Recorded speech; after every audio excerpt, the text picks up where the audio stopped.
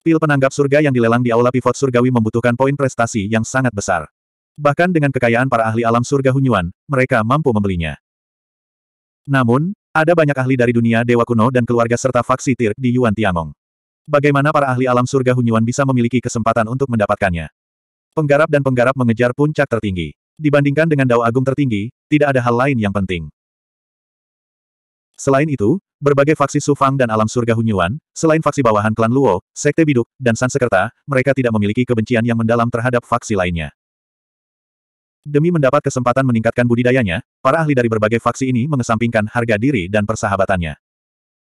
Alhasil, para ahli tersebut hanya bisa mempertebal wajah mereka dan mendatangi Su Fang untuk meminta pil. Setelah menyambut semua ahli di aula utama alam surgawi, Su Fang mengungkapkan ekspresi bermasalah setelah mendengar maksud dari para ahli.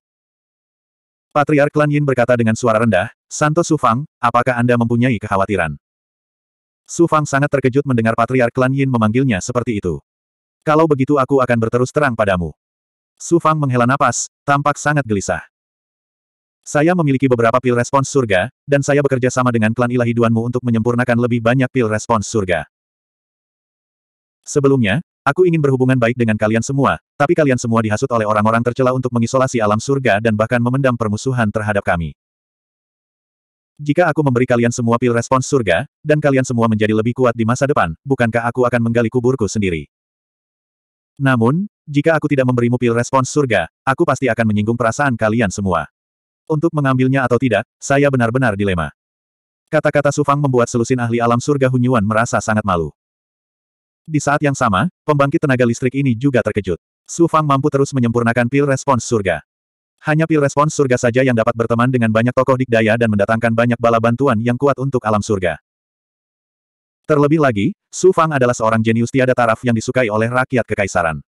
Menyinggung orang jenius karena pertimbangan klan Luo dan bahasa Sansekerta tidaklah sepadan. Patriark Suku Yin berkata dengan suara yang dalam, orang suci Su Fang terlalu banyak berpikir.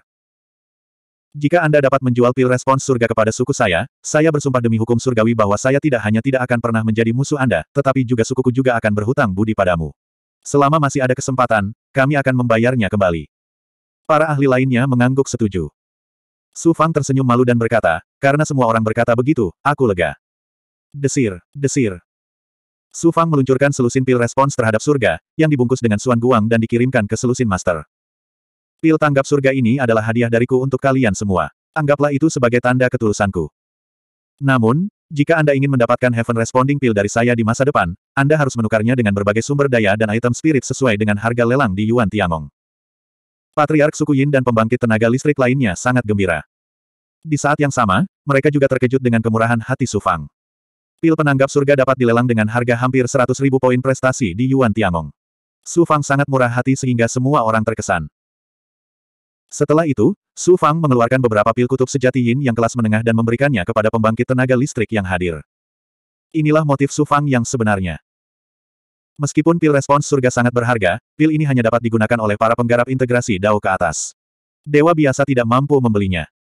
Selain itu, pil respons surga tidak seperti pil esensi ilahi. Setelah meminum terlalu banyak pil, efek pengobatannya akan hilang. Selain itu, bahannya terbatas sehingga tidak mungkin diproduksi secara massal.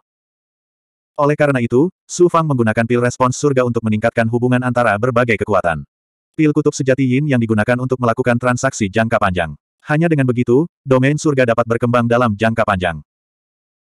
Setelah itu, selusin pembangkit tenaga listrik mengeluarkan berbagai sumber daya dan item roh untuk ditukar dengan pil respons surga dengan Sufang.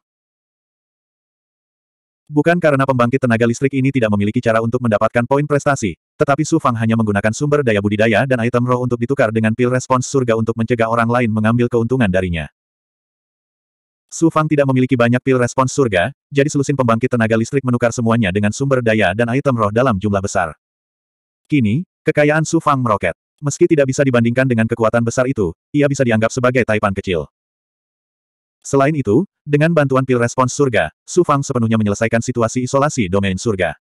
Pil kutub sejati Yin yang juga mulai dijual dalam jumlah besar, menjadi sumber pendapatan stabil untuk domain surga. Ketika pembangkit tenaga listrik dari kekuatan lain yang datang terlambat mendengar bahwa Su Fang telah memberikan pil respons surga kepada klan Yin dan pembangkit tenaga listrik lainnya secara gratis, mereka semua menyesalinya. Keesokan harinya, mereka semua mengunjungi Su Fang untuk mengungkapkan niat baik mereka. Sansekerta dan Sekte Biduk tentu saja tidak punya muka untuk mengunjungi mereka. Mereka hanya bisa menyaksikan kebangkitan domain surga di domain surga Hunyuan. Su Fang telah meninggalkan sebagian besar sumber dayanya di dunia surgawi untuk direkrut oleh Su Yun Kong.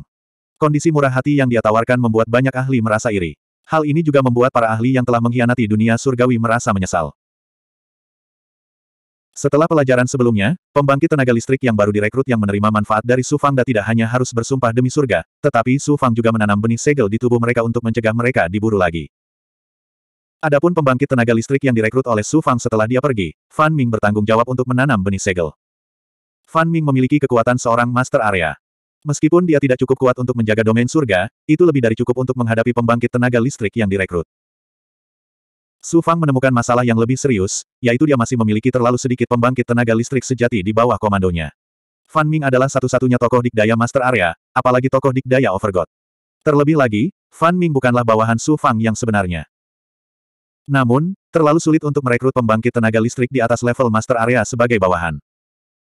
Pembangkit tenaga listrik Master Area dapat dikatakan sebagai penguasa sebuah bintang di berbagai surga. Bagaimana mereka bisa dengan mudah menjadi budak seseorang?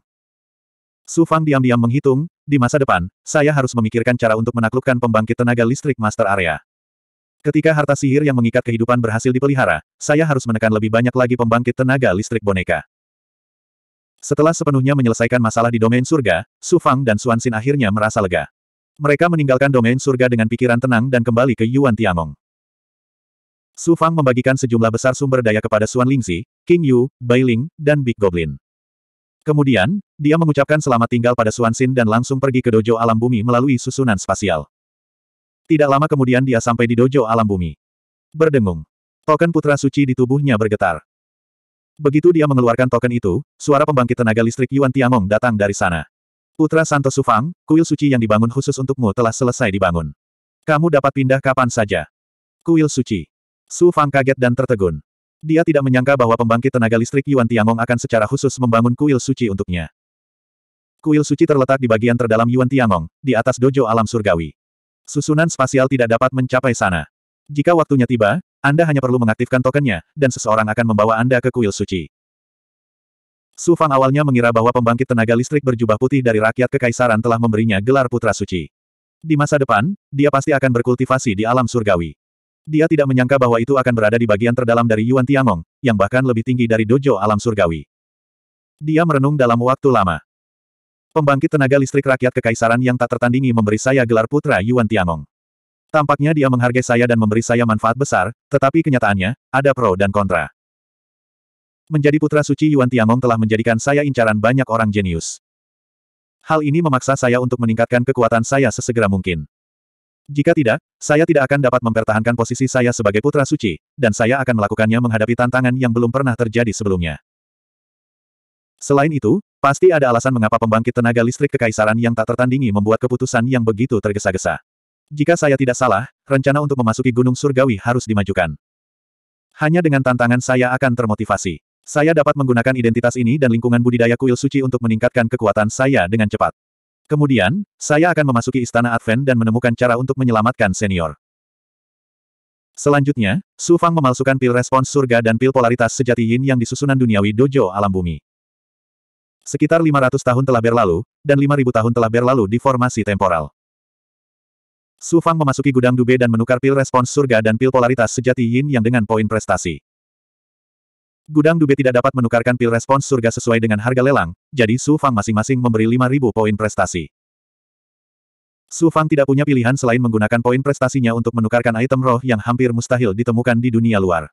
Dia harus menukar semua pil respons surga dan pil polaritas sejati yin yang yang dimilikinya dengan poin prestasi.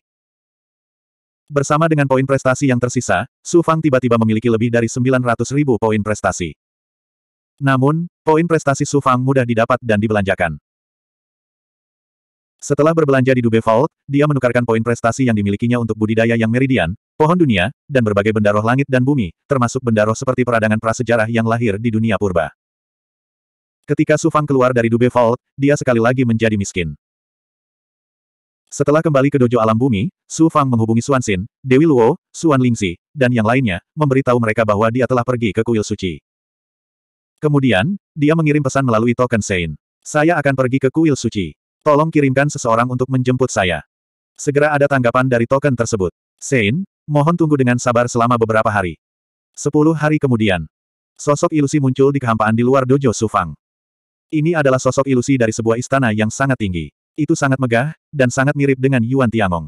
Namun, itu jauh lebih kecil dari Yuan Tiangong. Sosok ilusi itu dengan cepat menjadi nyata, dan akhirnya berubah menjadi istana sungguhan. Itu memancarkan suan guang emas, dan memancarkan aura tertinggi. Siapa pun yang melihatnya akan merasa kecil dan tidak berarti, dan mereka mau tidak mau ingin berlutut dan memujanya. Kuil Suci Su Fang memandangi istana terapung di udara, dan hatinya dipenuhi dengan keterkejutan. Roh aura ungu di tubuhnya juga gemetar karena kegembiraan.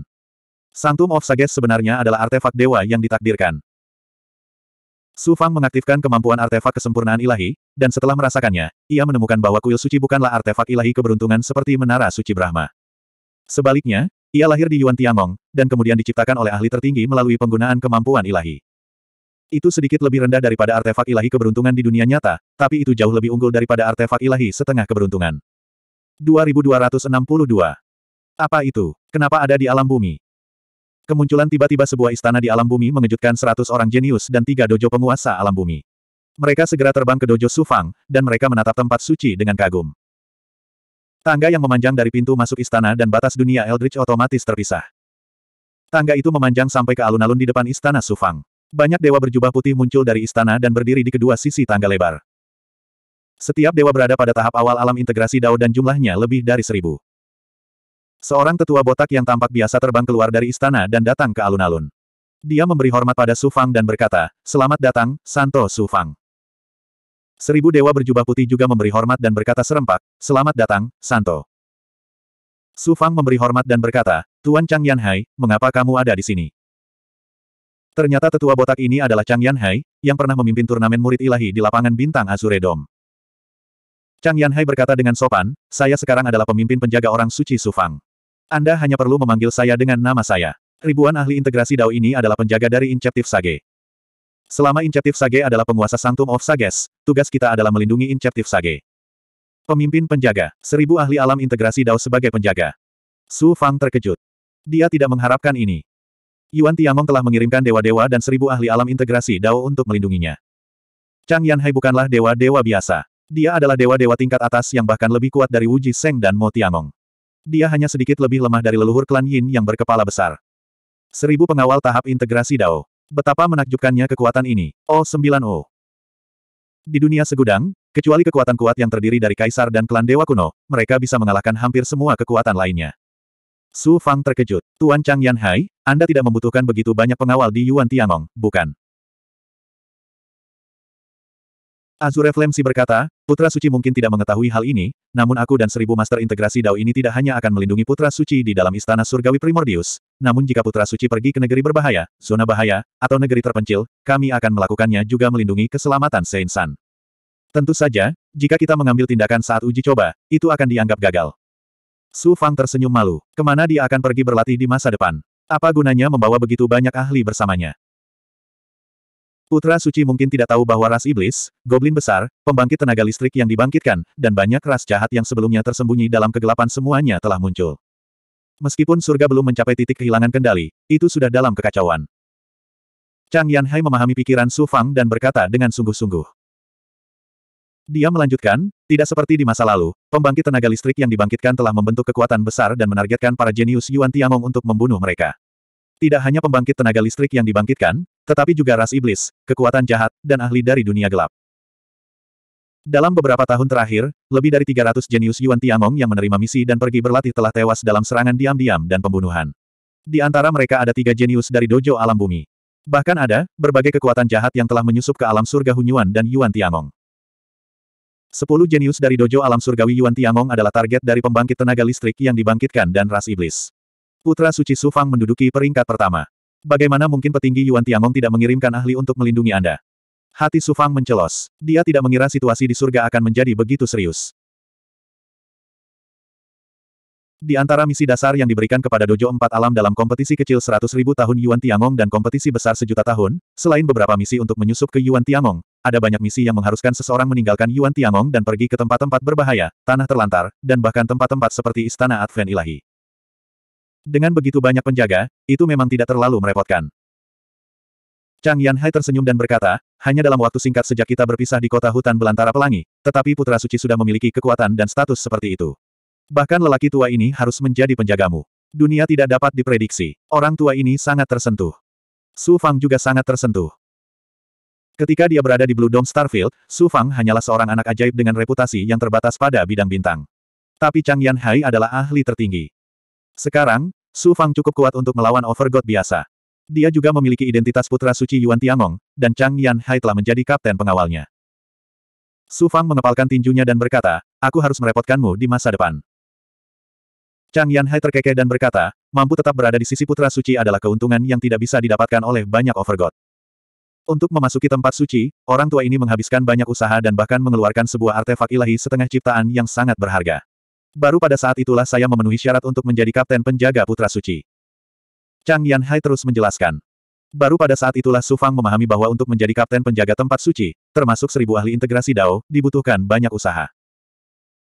Setelah memasuki Sanctum of Sages, seseorang akan memiliki lingkungan budidaya yang tidak bisa dimiliki oleh overgod lainnya. Apalagi perawatannya sangat baik dan sangat nyaman.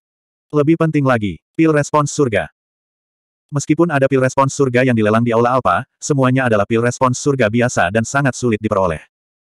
Su Fang memberi masing-masing pil respons surga roh kepada Seng Wuji dan Mo Tiangong.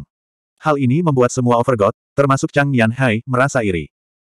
Chang Yan Hai bahkan lebih menyesal. Hubungannya dengan Su Fang tidak sebaik Seng Wuji dan Mo Tiangong. Sejak pertempuran Dewa di Blue Dome Starfield, dia jarang menghubungi Su Fang. Jika dia mempertahankan hubungannya dengan Su Fang, dia tidak perlu khawatir tidak bisa mendapatkan pil respons surga. Sekarang ada kesempatan untuk mendekati Su Fang lagi, Chang Yan Hai tentu saja tidak mau melewatkannya. Dia menggunakan segala kemampuannya dan akhirnya mendapatkan apa yang diinginkannya. Chang Yanhai tersenyum dan berkata, Pangeran Suci Sufang, silakan masuk ke tempat suci. Sufang melangkah ke tangga, dan tanda Pangeran Suci di dalam tubuhnya tiba-tiba berdengung, membentuk hubungan yang sangat halus dengan tempat suci. Pada saat yang sama, Su Fang dapat dengan jelas merasakan bahwa melalui tanda Pangeran Suci, dia dapat dengan mudah mengendalikan tempat suci. Chang Yanhai mengikuti di belakang Su Fang dan seribu ahli tahap integrasi Dao ke tempat suci para petapa. Sanctum of Sages dengan cepat berubah dari jasmani menjadi kehampaan dan akhirnya menghilang dari dojo alam bumi. Untuk memiliki artefak ilahi yang dapat ditakdirkan sebagai istananya dan seribu ahli tahap integrasi Dao sebagai pengawalnya, perlakuan ini benar-benar tiada bandingannya. Para jenius di dunia bumi merasa iri. Status para jenius di dojo alam bumi adalah yang kedua setelah para jenius di alam surga. Bahkan di antara Yuan Tiangong, mereka dianggap terkemuka. Namun, dibandingkan dengan Su Fang, dia bukanlah siapa-siapa. Tidak ada cara untuk membandingkannya. Bahkan tiga dojo alam bumi tidak bisa menahan nafas, terutama penguasa yang menggantikan Hanzi setelah Hanzi menekannya. Dia menghela nafas dan berkata, Hanzi benar-benar bodoh. Tak disangka dia akan menindas seorang jenius yang tiada taranya hanya demi mendapatkan keuntungan dari suku Luo. Dia benar-benar tidak tahu bagaimana menulis kata kematian. Tempat suci para orang bijak. Dengan bantuan tanda pangeran suci, Su Fang dapat merasakan setiap sudut tempat suci.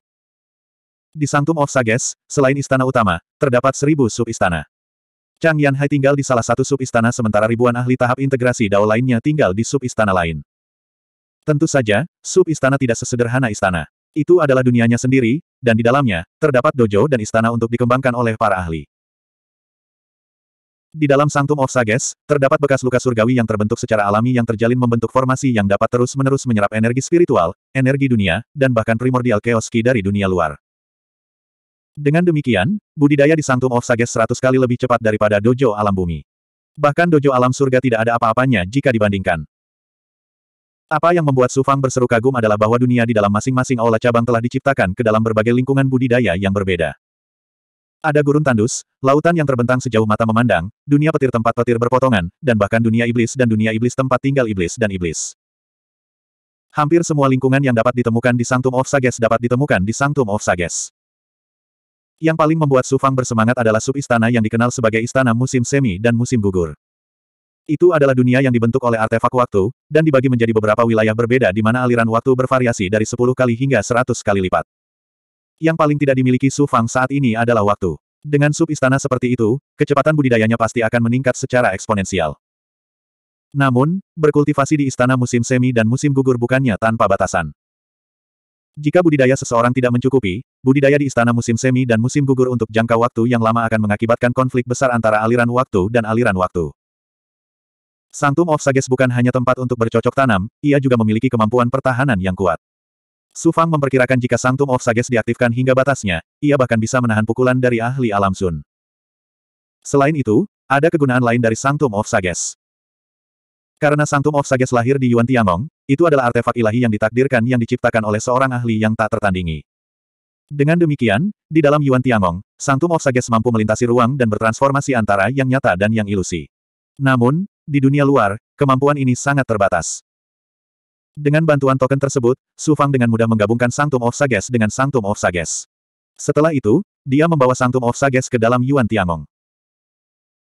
Hanya dalam waktu sepuluh napas, bayangan kuil suci muncul di wilayah alam surgawi di Istana Surgawi Primordius, dengan cepat berubah menjadi kenyataan.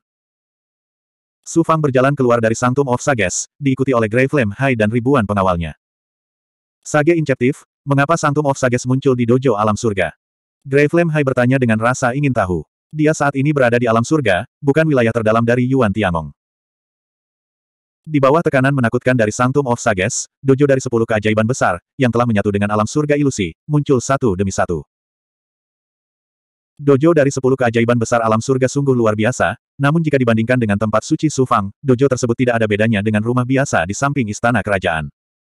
2263 Su Fang menggunakan kemampuan tahap kesempurnaan hebatnya dan segera merasakan lokasi Xuan Xin dan Dewi Luo. Namun, Dewi Luo tidak ada di sana. Su Fang tidak tahu misi berbahaya macam apa yang telah dia terima, dan dia tidak bisa tidak khawatir. Xuan Xin sedang bersiap untuk berintegrasi dengan Dao Surgawi selama periode ini, jadi dia secara alami berada di dojo. Suara mendesing, suara mendesing, suara mendesing. Satu demi satu sosok terbang keluar dari dojo alam surgawi dan menuju Su Fang. Saudara Su Fang, apakah ini tempat sucimu? Sungguh menakjubkan. Chu Bingyan melihat lebih dekat ke tempat suci, dan ekspresi iri muncul di wajahnya. Cek-cek, dewa penguasa dan seribu penggarap integrasi Dao yang menjaganya. Seperti yang diharapkan dari putra suci yang berdiri di atas semua keajaiban alam surga. Kim Yan, Si Feng, dan Qian Gang juga iri. Beberapa dari mereka juga iri. Chu Bingyan berkata, Saudara Su, bisakah Anda mengizinkan saya tinggal di kuil suci Anda selama beberapa hari? Sebelum Su Fang dapat menjawab, Chang Yanhai berkata, selain orang suci, semua orang harus membayar 100 poin prestasi setiap hari untuk tinggal di kuil orang suci. Kalau begitu lupakan saja. Chu Bingyan menyentuh ujung hidungnya dan tersenyum pahit. Qi Mian mendengus. Su Fang, apakah kamu menunjukkan kuil suci di alam surgawi hanya untuk dipamerkan ke dojo alam surgawi? Saya ingin menantang Anda. Apakah Anda berani menerima tantangan saya? Kamu terlalu banyak berpikir. Kali ini aku datang ke dojo alam surgawi untuk rekan dauku. Tujuan Su Fang adalah untuk menantang Xuan Xin. Chu Bingyan tersenyum dan berkata, Kim Yan, jika kamu ingin menantang Su Fang, tantanglah pagoda 10.000 mantra terlebih dahulu. Tunggu sampai kamu melewati lantai 68 dari pagoda 10.000 mantra sebelum kamu menantangnya. Su Fang telah mencetak rekor baru di menara 10.000 mantra yang tidak dapat dipecahkan oleh siapa pun. Bahkan menara 10.000 mantra tidak bisa melampaui Su Fang, jadi hak apa yang dia miliki untuk menantang Su Fang? Kim Yan mendengus dan berkata, kamu hanyalah orang picik yang mabuk oleh kesuksesan. Aku mungkin tidak bisa melampauimu di pagoda 10.000 mantra, tapi menurutmu apakah di Yuan Shaozun pun tidak bisa melampauimu? Chang Yan Hai berteriak dengan dingin, Yang mulia Kim Yan, jangan lupakan hierarki Yuan Tiangong. Jika Anda berbicara kasar lagi, jangan salahkan saya karena tidak sopan. Kim Yan gemetar di bawah tekanan overgod dari lautan api Ashen. Dia mendengus dan tidak lagi berani bersuara. Su Fang, datang dan temui tuan muda ini. Suara di Yuan terdengar dari tempat latihan yang jauh. Suaranya dipenuhi dengan kekuatan surgawi yang tidak dapat ditentang. Alis Azure Flamesi berkedut, tapi pada akhirnya dia menahan diri. Su Fang menjawab, Sao Zun di Yuan, silakan mengutarakan pendapatmu. Anda sekarang adalah putra suci Yuan Tiangong yang secara pribadi dianugerahkan oleh keberadaan tertinggi ras saya. Anda memiliki hak untuk berbicara kepada saya seperti ini. Kemudian, tuan muda ini akan berbicara terus terang. Suara acuh tak acuh di Yuan terdengar. Karena kamu, Luo Xingtian akan diusir dari Yuan Tiangong oleh Balai Hukuman. Jika memungkinkan, seseorang harus bersikap lunak. Tuan muda ini akan memintanya untuk meminta maaf kepada Anda. Demi tuan muda ini, tolong biarkan dia pergi kali ini. Su Fang berkata dengan malu-malu, putra suci ini telah dengan jelas menyatakan kondisiku kepada tetua pertama klan Luo, Luo Yunchen. Aku tidak ingin mengulanginya lagi. Di Yuan berkata dengan acuh tak acuh, Su Fang, jangan melangkah terlalu jauh. Kamu bisa menolak untuk memberikan wajah pada klan Luo, tapi jangan bilang kamu bahkan tidak akan memberikan wajah tuan muda ini. Saya, Su Fang, hanya tahu bahwa saya harus berjuang demi kehormatan saya sendiri dan tidak bergantung pada orang lain untuk memberikannya kepada saya. Jika kali ini aku menghadap Sao Zun di Yuan dan melepaskan Luo Xingtian, lalu siapa yang akan menghadap Su Fang? Su Fang terkekeh. Setelah memasuki Yuan Tiangong, Luo Xingtian telah mengincar Su Fang ke mana-mana dan ingin membunuh Su Fang. Mengapa tidak ada yang memberinya muka saat itu? Sekarang, Di Yuan telah melompat keluar dan meminta Su Fang untuk memberikan wajahnya. Agak konyol. Su Fang, aku, Di Yuan, secara resmi menantangmu. Selama ujian seratus ribu tahun, tidak peduli ujian apa yang kamu ambil, tidak peduli misi apa yang kamu terima, Tuan muda ini akan menghancurkanmu. Pada akhirnya, aku akan mengalahkanmu dalam satu gerakan dalam ujian dan menjadikanmu, Putra Suci Yuan Tiangong, sebuah lelucon.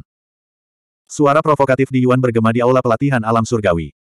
Putra Suci ini akan menunggu kedatangan Sao Zun di Yuan kapan saja. Su Fang tersenyum santai dan kemudian terbang lurus ke arah aula pelatihan Xuanxin. Selama ujian di aula pelatihan Yuan Tiangong, Su Fang tahu bahwa dia jelas bukan tandingan di Yuan.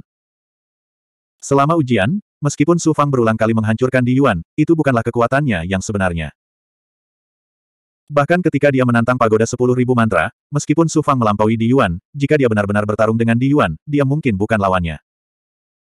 Namun, dengan Sanctum of Sages, Su Fang yakin bahwa dia bisa mengalahkan di Yuan sebelum ujian 100.000 tahun.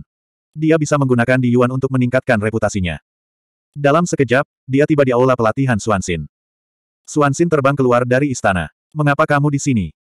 Su Fang berkata, integrasi Dao Anda adalah hal yang paling penting. Saya hanya bisa merasa nyaman setelah Anda berhasil. Xuanxin sangat tersentuh dengan beberapa kata ini. Ayo pergi ke Sanctum of Sagesku. Su Fang membawa Xuanxin kembali ke tempat suci. Xuanxin juga harus membayar 100 poin prestasi sehari untuk tinggal di Sanctum of Sages. Ini bukanlah jumlah yang kecil. Namun, karena ini terkait dengan kemajuan Xuanxin, Su Fang tidak mempedulikan hal lain. Sekitar seratus tahun kemudian, Xuanxin mengasingkan diri di aula musim semi dan musim gugur Sanctum of Sages selama lebih dari 3.000 tahun. Akhirnya, dengan bantuan pil surga yang menanggapi roh, dia berhasil berintegrasi dengan Dao Surgawi. Ketika hati yang mendalam menyatu dengan Dao, sebuah fenomena muncul di Dao Surgawi. Hantu Ice Phoenix raksasa muncul, membekukan seluruh bidang Dao alam surgawi.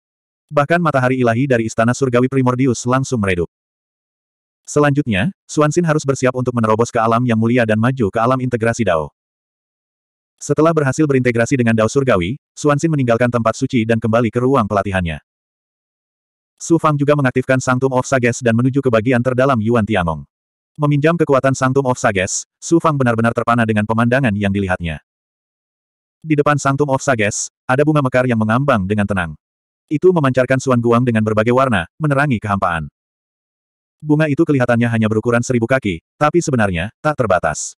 Ini memberi Su Fang perasaan bahwa itu bisa memuat seluruh Yuan Tiangong. Bunga itu memiliki lebih dari 30 kelopak, dan setiap kelopak memancarkan suan guang yang berbeda. Aura dao besar yang dipancarkannya mewakili dao besar logam, kayu, air, api, bumi, petir, waktu, ruang, dan sebagainya. Setiap kelopak melambangkan dao agung tertinggi. Ruang di sekitar bunga itu dipenuhi aura primal chaos yang pekat. Bunga dao surgawi. Su Fang memikirkan bunga dao surgawi miliknya sendiri. Itu hampir identik dengan bunga di hadapannya. Namun, bunga dao surgawi di hadapannya tidak hanya memiliki lebih banyak kelopak, tetapi dao besar yang dikandungnya juga lebih dalam dan mendalam. Jika seluruh Yuan Tiangong adalah seseorang, maka empat alam surga, bumi, hitam, dan kuning akan menjadi tubuh dewa seseorang. Bagian terdalam dari Yuan Tiangong adalah lubang dewa seseorang, dan bunga dari dao surgawi akan menjadi roh yang dari dewa. Siapa yang mengira tempat latihanku akan menjadi sumber Yuan Tiangong? Saya dapat menggunakan bunga Dao Surgawi Yuan Tiangong untuk memverifikasi Dao Surgawi saya. Su Fang tercerahkan. Dia berjalan keluar dari tempat suci dan duduk bersila di udara di atas istana. Dia terus memahami dan memverifikasi Dao Surgawinya. Chang Yan Hai dan seribu penjaga tahap integrasi Dao juga berjalan keluar dari tempat suci untuk mengamati bunga Dao Surgawi. Kepulan-kepulan-kepulan. Siapa sangka setelah melihat sekilas, beberapa penjaga yang lebih lemah akan mengeluarkan seteguk darah, dan aura mereka akan menjadi lesu. Beberapa penjaga yang lebih kuat hanya bisa bertahan paling lama untuk waktu yang setara dengan sebatang dupa. Bunga Dao Surgawi mengandung misteri paling mendalam di alam semesta. Sebagai dewa tahap integrasi Dao, mereka tidak memenuhi syarat untuk memahami bunga Dao Surgawi karena basis budidaya mereka yang rendah. Namun, pengamatan singkat inilah yang memungkinkan hampir setiap penjaga mendapatkan pemahaman yang lebih dalam dan jelas tentang Dao Surgawi. Dengan demikian, mata setiap penjaga berbinar. Setelah istirahat sejenak, mereka segera pergi mengamati bunga Dao Surgawi lagi. Sekitar tiga hari kemudian, Chang Yanhai tidak bisa bertahan lebih lama lagi. Dia terhuyung dan hampir jatuh dari langit. Peluang besar ada di depan saya, tetapi saya tidak bisa menikmatinya. Basis kultivasi saya masih terlalu rendah. Hah? Ketika Chang Yanhai melihat Su Fang berdiri diam di udara, dia terkejut dan heran. Su Fang mengolah dao surgawi tertinggi dan telah mengembangkan dunia batin. Namun, dia hanya berada di lapisan surgawi ketiga dari alam penggabungan dao, namun dia dapat bertahan begitu lama. Bahkan saya tertinggal dalam debu. Level berapa yang dimilikinya? Dunia batinnya tercapai. Hati Chang Yanhai sedang kacau. Pada saat ini, Su Fang menjadi tak terduga di dalam hatinya. Dia seperti dao surgawi halus yang sulit dipahami. Waktu berlalu hari demi hari. Tiga tahun berlalu dalam sekejap mata. Penjaga tahap integrasi dao telah beristirahat berkali-kali. Aura mereka lesu dan mata mereka merah. Beberapa dari mereka bahkan mengeluarkan darah dari matanya. Namun, tidak ada satupun dari mereka yang mau menyerah pada kesempatan langka ini. Chang Yanhai juga beristirahat dan pulih berkali-kali. Kemudian, dia terus memahaminya. Dari Chang Yanhai hingga penjaga tahap integrasi Dao, tiga tahun budidaya yang singkat sebanding dengan tiga juta tahun pengasingan. Dia bahkan mendapatkan sesuatu yang tidak dapat dia capai sepanjang hidupnya. Su Fang menghabiskan waktu paling singkat tiga hingga lima hari dan paling lama beberapa bulan. Dia bahkan menggunakan mata ilahi untuk memahami dan mengolah. Dia tidak seperti Chang Yanhai dan yang lainnya yang hanya memahami dao besar tertentu. Sebaliknya, dia memverifikasi bunga Yuan Tiangong dari dao surgawi dengan dunia internalnya sendiri. Setelah verifikasi dan deduksi, pemahaman Su Fang tentang dao surgawi semakin dalam. Meskipun pohon dunia dan yang meridian di Istana Dao Langit dan Bumi tidak banyak berkembang, seluruh Istana Dao Langit dan Bumi menjadi lebih dalam dan misterius. Jika pohon dunia dan meridian yang disembunyikan di Istana Dao dan diubah menjadi dunia internal, orang dapat dengan jelas merasakan bahwa dunia internal sedang berada di tengah-tengah metamorfosis besar. Metamorfosis ini akan lebih mencengangkan dibandingkan metamorfosis Yin dan yang sebelumnya. Bang! Su Fang membuka matanya. Matanya bersinar karena kegembiraan. Rasa yakin yang kuat bahwa segala sesuatu di dunia berada di bawah kendalinya muncul secara spontan. Sudah waktunya. Tidak ada gunanya melanjutkan. Su Fang berdiri. Baru kemudian dia menyadari bahwa tubuh fisiknya hampir mengering. Bahkan kekuatan roh yang dan dharma miliknya telah sangat terkuras. Memahami Dao Surgawi tampaknya mudah, tetapi tanpa disadari hal itu telah menghabiskan nyawa, darah, roh primordial, dan kekuatan Dharma Sufangda. 2264. Kenaikan ke tahap surgawi keempat dari tahap integrasi Dao. Sufang kembali ke tempat suci, dan Chang Yan Hai serta penjaga lainnya juga kembali ke aula masing-masing. Kemudian, Sufang mengaktifkan Sanctum of Sages dengan token murid suci miliknya dan melayang menuju bunga Dao Surgawi. Saat tempat suci para petapa bersentuhan dengan aura kacau yang dilepaskan oleh bunga dao surgawi, aura itu langsung menjadi tidak berwujud. Saat muncul kembali, ia sudah berada di ruang kosong. Meminjam kekuatan Sanctum of Sages, Su Fang dapat dengan jelas melihat segala sesuatu di luar Sanctum of Sages, dan hatinya sekali lagi dipenuhi dengan keterkejutan. Aura kacau yang pekat melayang di udara. Aura kacau ini adalah energi asal Yuan Tiangong, dan lebih unggul dari energi spiritual alami langit dan bumi serta kekuatan dunia. Garis-garis cahaya spiritual melintas di udara, menampilkan segala macam fenomena aneh. Ini adalah manifestasi nyata dari hukum Dao Surgawi. Hanya dari sekilas fenomena langit ini, seseorang dapat menangkap misteri mendalam langit dan bumi. Ini adalah inti dari Yuan Tiangong. Dalam hal lingkungan kultivasi, ini jauh lebih unggul dari alam transendensi surga. Berkultivasi di sini dapat dikatakan peningkatan yang pesat. Di seluruh Yuan Tiangong, tidak mungkin menemukan tempat yang lebih baik untuk bercocok tanam daripada di sini. Apa pun yang terjadi, saya harus melindungi identitas saya sebagai murid suci. Aku tidak bisa membiarkan siapa pun mengambilnya dariku. Su Fang sangat bersemangat, tapi kepalanya tidak memanas. Tidak ada yang namanya makan siang gratis di dunia ini. Ahli tertinggi dari rakyat kekaisaran telah memberiku kesempatan seperti itu, dan dia bahkan melampaui jurang kaisar. Apa motifnya? Itu tidak lebih dari mengasuh saya agar saya bisa memasuki gunung surgawi dan mencari tahu penyebab perubahan langit dan bumi. Jika bukan karena alasan ini, bagaimana kesempatan seperti itu bisa jatuh ke tangan seorang kultivator tingkat tinggi seperti saya? Saya bisa memanfaatkan kesempatan ini untuk menantang surga dan naik ke puncak dunia, tapi saya tidak bisa membiarkan nasib saya berada di tangan orang lain. Saya tidak hanya harus meningkatkan kekuatan saya secepat mungkin, tetapi saya juga harus mencari kesempatan untuk merekrut ahli sebanyak mungkin untuk memperkuat faksi saya. Su Fang memasuki aula musim semi dan musim gugur. Dia sampai di suatu daerah di mana aliran waktu sekitar 30 kali lebih cepat. Kemudian, dia mengeluarkan kristal darah dan ramuan untuk segera memulihkan konsumsi besar yang disebabkan oleh mengamati bunga dao surgawi. Waktu mengalir seperti air di aula musim semi dan musim gugur. Setiap kali Sufang menutup matanya untuk bermeditasi dan berkultivasi, tahun-tahun yang tak terhitung jumlahnya akan berlalu. Bang! Sufang tiba-tiba membuka matanya, dan matanya tampak seolah-olah berisi alam semesta tanpa batas, dalam dan penuh misteri.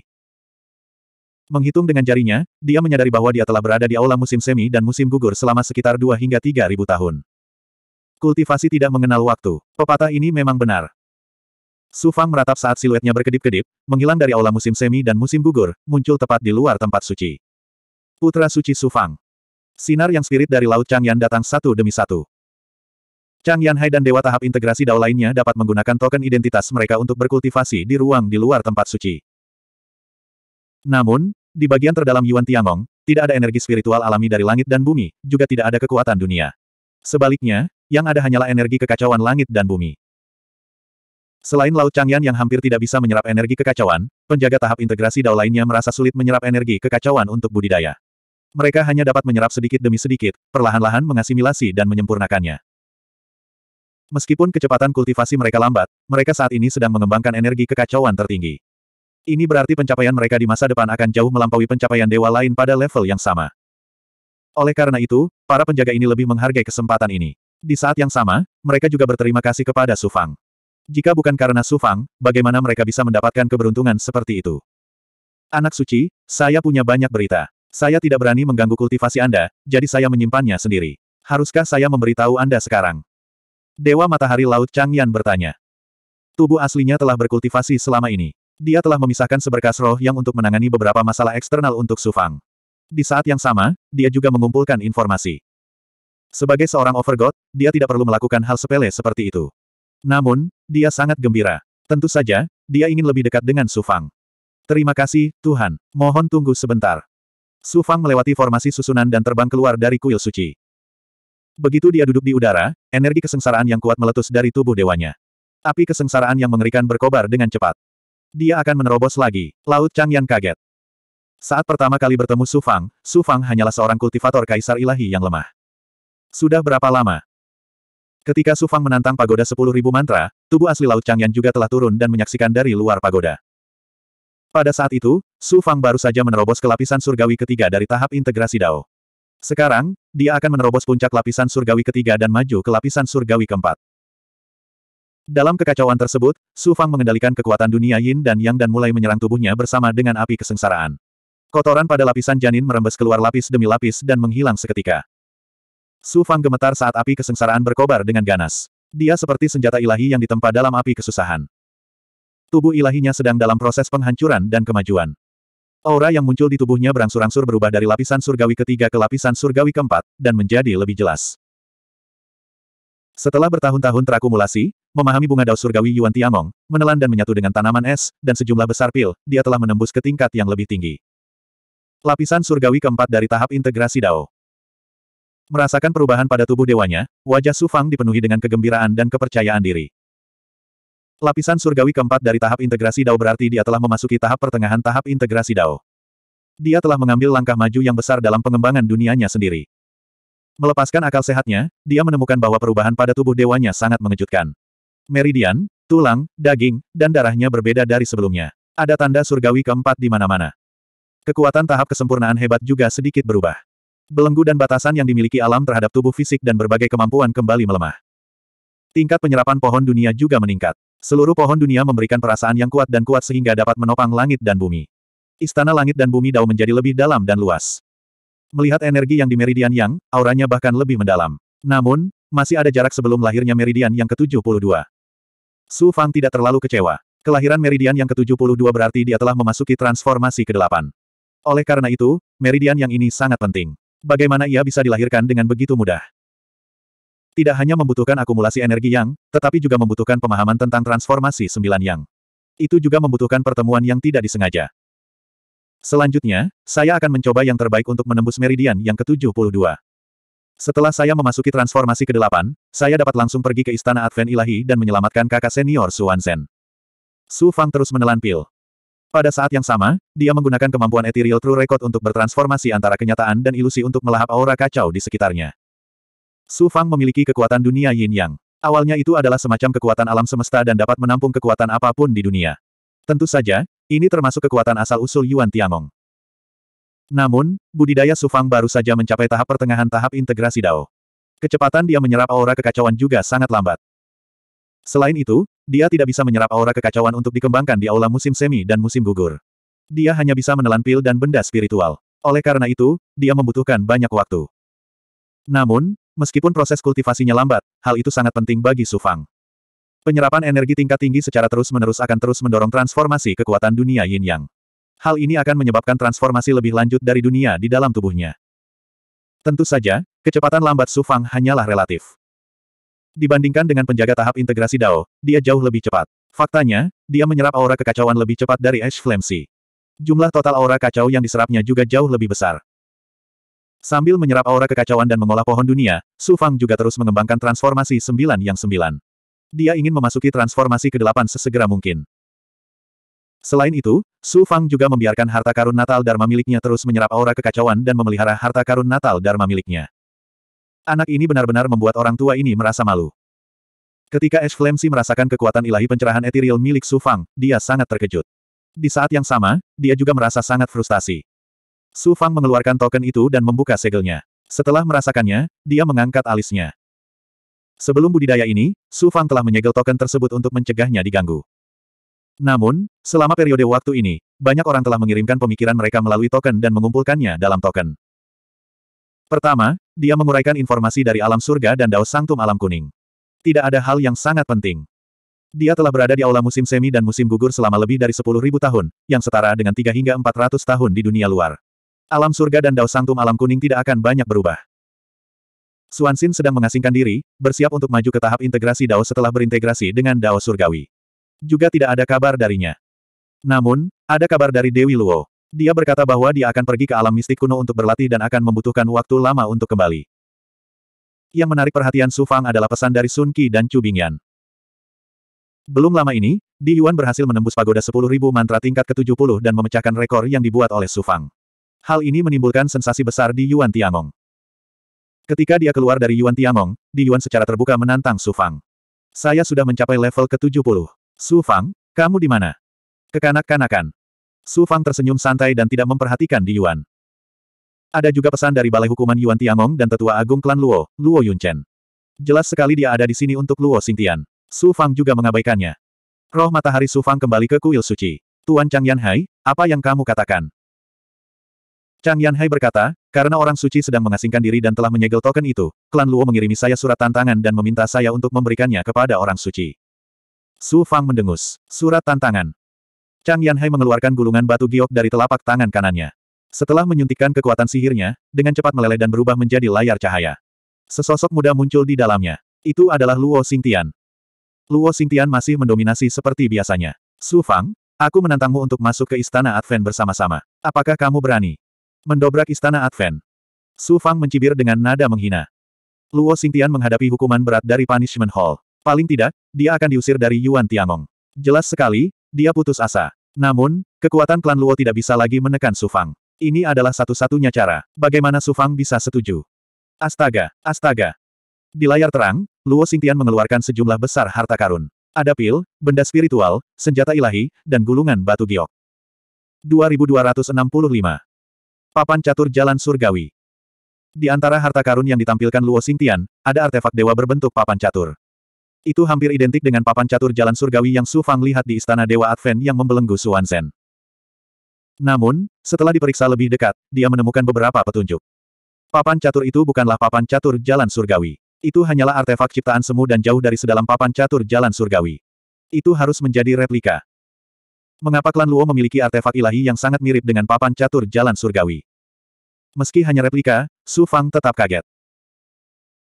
Dia tidak peduli dengan artefak dewa setengah ciptaan, tetapi karena itu terkait dengan Su Wanzhen, dia secara alami harus memberikan 120% perhatian pada artefak dewa setengah ciptaan ini.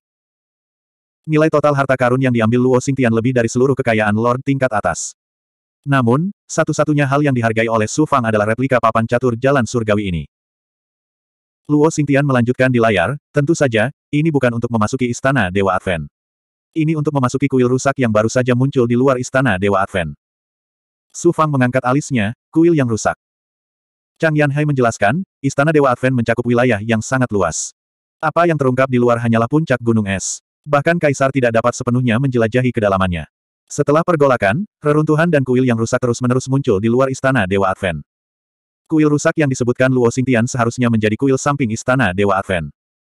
Luo Xingtian melanjutkan di layar, mari kita bertaruh lagi. Kita akan memasuki kuil yang rusak ini untuk berlatih bersama. Jika kamu menang, semua harta di depanku akan menjadi milikmu. Jika kalah, dendam kami akan dihapuskan. Apakah kamu berani? Luo Xingtian menunjuk ke arah Su Fang dan berteriak dengan dominan. Kemudian, layarnya bergetar dan menghilang ke dalam ketiadaan. Chang Yanhai menasihati, Putra Suci Su Fang, saya mendengar bahwa Balai Hukuman telah memutuskan untuk mengusir Luo Xingtian dari Yuan Tiangong, kecuali Anda tidak lagi mengejarnya. Kuil Advent sangat berbahaya. Meskipun kuil yang rusak terletak di pinggiran kuil Advent, belum ada seorang pun yang pernah memasukinya. Luo Xingtian juga berencana melakukan upaya terakhir. Orang suci tidak perlu menerima tantangannya. Terima kasih atas pengingatmu, Tuan Chang Yanhai. Su Fang mengerti. Roh yang Su Fang kembali ke tubuh aslinya dan terus menyerap ki yang kacau di sekitarnya, memulihkan istana Dao Langit dan bumi yang kosong. Pada saat yang sama, Su Fang juga mengirimkan sinar roh yang ke kedalaman cermin suci kekacauan primordial, melepaskan kekuatan dan kemauan yang miliknya. Setelah beberapa saat, suara Su Wan Zhen terdengar. Su Fang, kamu sebenarnya telah memadatkan 71 meridian yang dan akan membentuk meridian ke-72. Kamu akan mencapai transformasi ke-8 dan tingkat kultivasimu juga telah mencapai surga keempat dari tahap integrasi Dao. Dia kemudian menghela nafas dengan emosi. Aku tidak menyangka bocah rendahan dari dunia kecil saat itu akan menyusulku. Bahkan aku harus mengagumimu. Su Fang menjawab dengan malu-malu, bukankah itu semua berkat kakak senior aku mendapatkan pencapaian hari ini? Kakak senior, bagaimana kabarmu di kuil Advent? Terakhir kali, kami bergabung untuk menerobos belenggu papan catur Dao Surgawi. Setelah kami gagal, kami menderita beberapa luka dan menghabiskan banyak energi. Akhir-akhir ini, kami telah pulih. Anda tidak mencari saya untuk menanyakan hal ini, bukan? Su Fang memberitahu Su Wanzhen tentang tantangan Luo Xingtian dan senjata ilahi yang sangat mirip dengan papan catur Dao Surgawi. Replika papan catur Dao Surgawi. Itu sedikit kebetulan. Mungkin klan Luo secara tidak sengaja mendapatkan harta karun ini. Kakak senior, saya berencana untuk menerima tantangan Luo Xingtian dan memenangkan senjata ilahi itu. Saya pasti bisa menemukan beberapa petunjuk darinya. Dengan cara ini, saya akan lebih percaya diri dalam membantu kakak senior melepaskan diri dari belenggu. Saya telah berjalan selangkah demi selangkah dari pinggiran Yuan Tiangong ke area dalam. Secara alami, saya tahu bahaya di dalamnya. Terutama reruntuhan seperti ini yang belum pernah dimasuki siapa pun sebelumnya. Ini bahkan lebih berbahaya. Jika Anda tidak memiliki keyakinan penuh, sebaiknya Anda tidak menerimanya. Jika Anda terjerumus ke dalamnya dan bahkan kehilangan nyawa, maka kerugiannya akan lebih besar daripada keuntungannya. Kakak senior, jangan khawatir. Saya akan bersiap dengan baik dan tidak akan mudah mengambil risiko. Su Fang mengambil roh matahari dan terus berkultivasi di udara. Pada saat yang sama, dia meminta Chang Yan Hai untuk mengirim pesan ke klan Luo. Selama klan Luo mengambil harta karun yang ditampilkan Luo Xingtian, Balai Hukuman akan membatalkan hukuman terhadap Luo Xingtian. Namun, setelah pesan terkirim, bagaikan batu yang tenggelam ke laut. Klan Luo tidak merespon sama sekali. Klan Luo tidak hanya ingin menggunakan tantangan ini untuk melindungi Luo Xingtian, mereka juga ingin memanfaatkan kesempatan ini untuk melenyapkanku dalam satu gerakan. Rencana yang bagus. Su Fang menyelidiki dan menemukan tujuan tantangan Luo Xingtian. Jika itu benar-benar hanya untuk melindungi Luo Xingtian, klan Luo hanya perlu kehilangan sejumlah harta. Dengan berdirinya klan Sen kuno di dunia Dewa kuno, kehilangan begitu banyak harta karun benar-benar dapat ditanggung.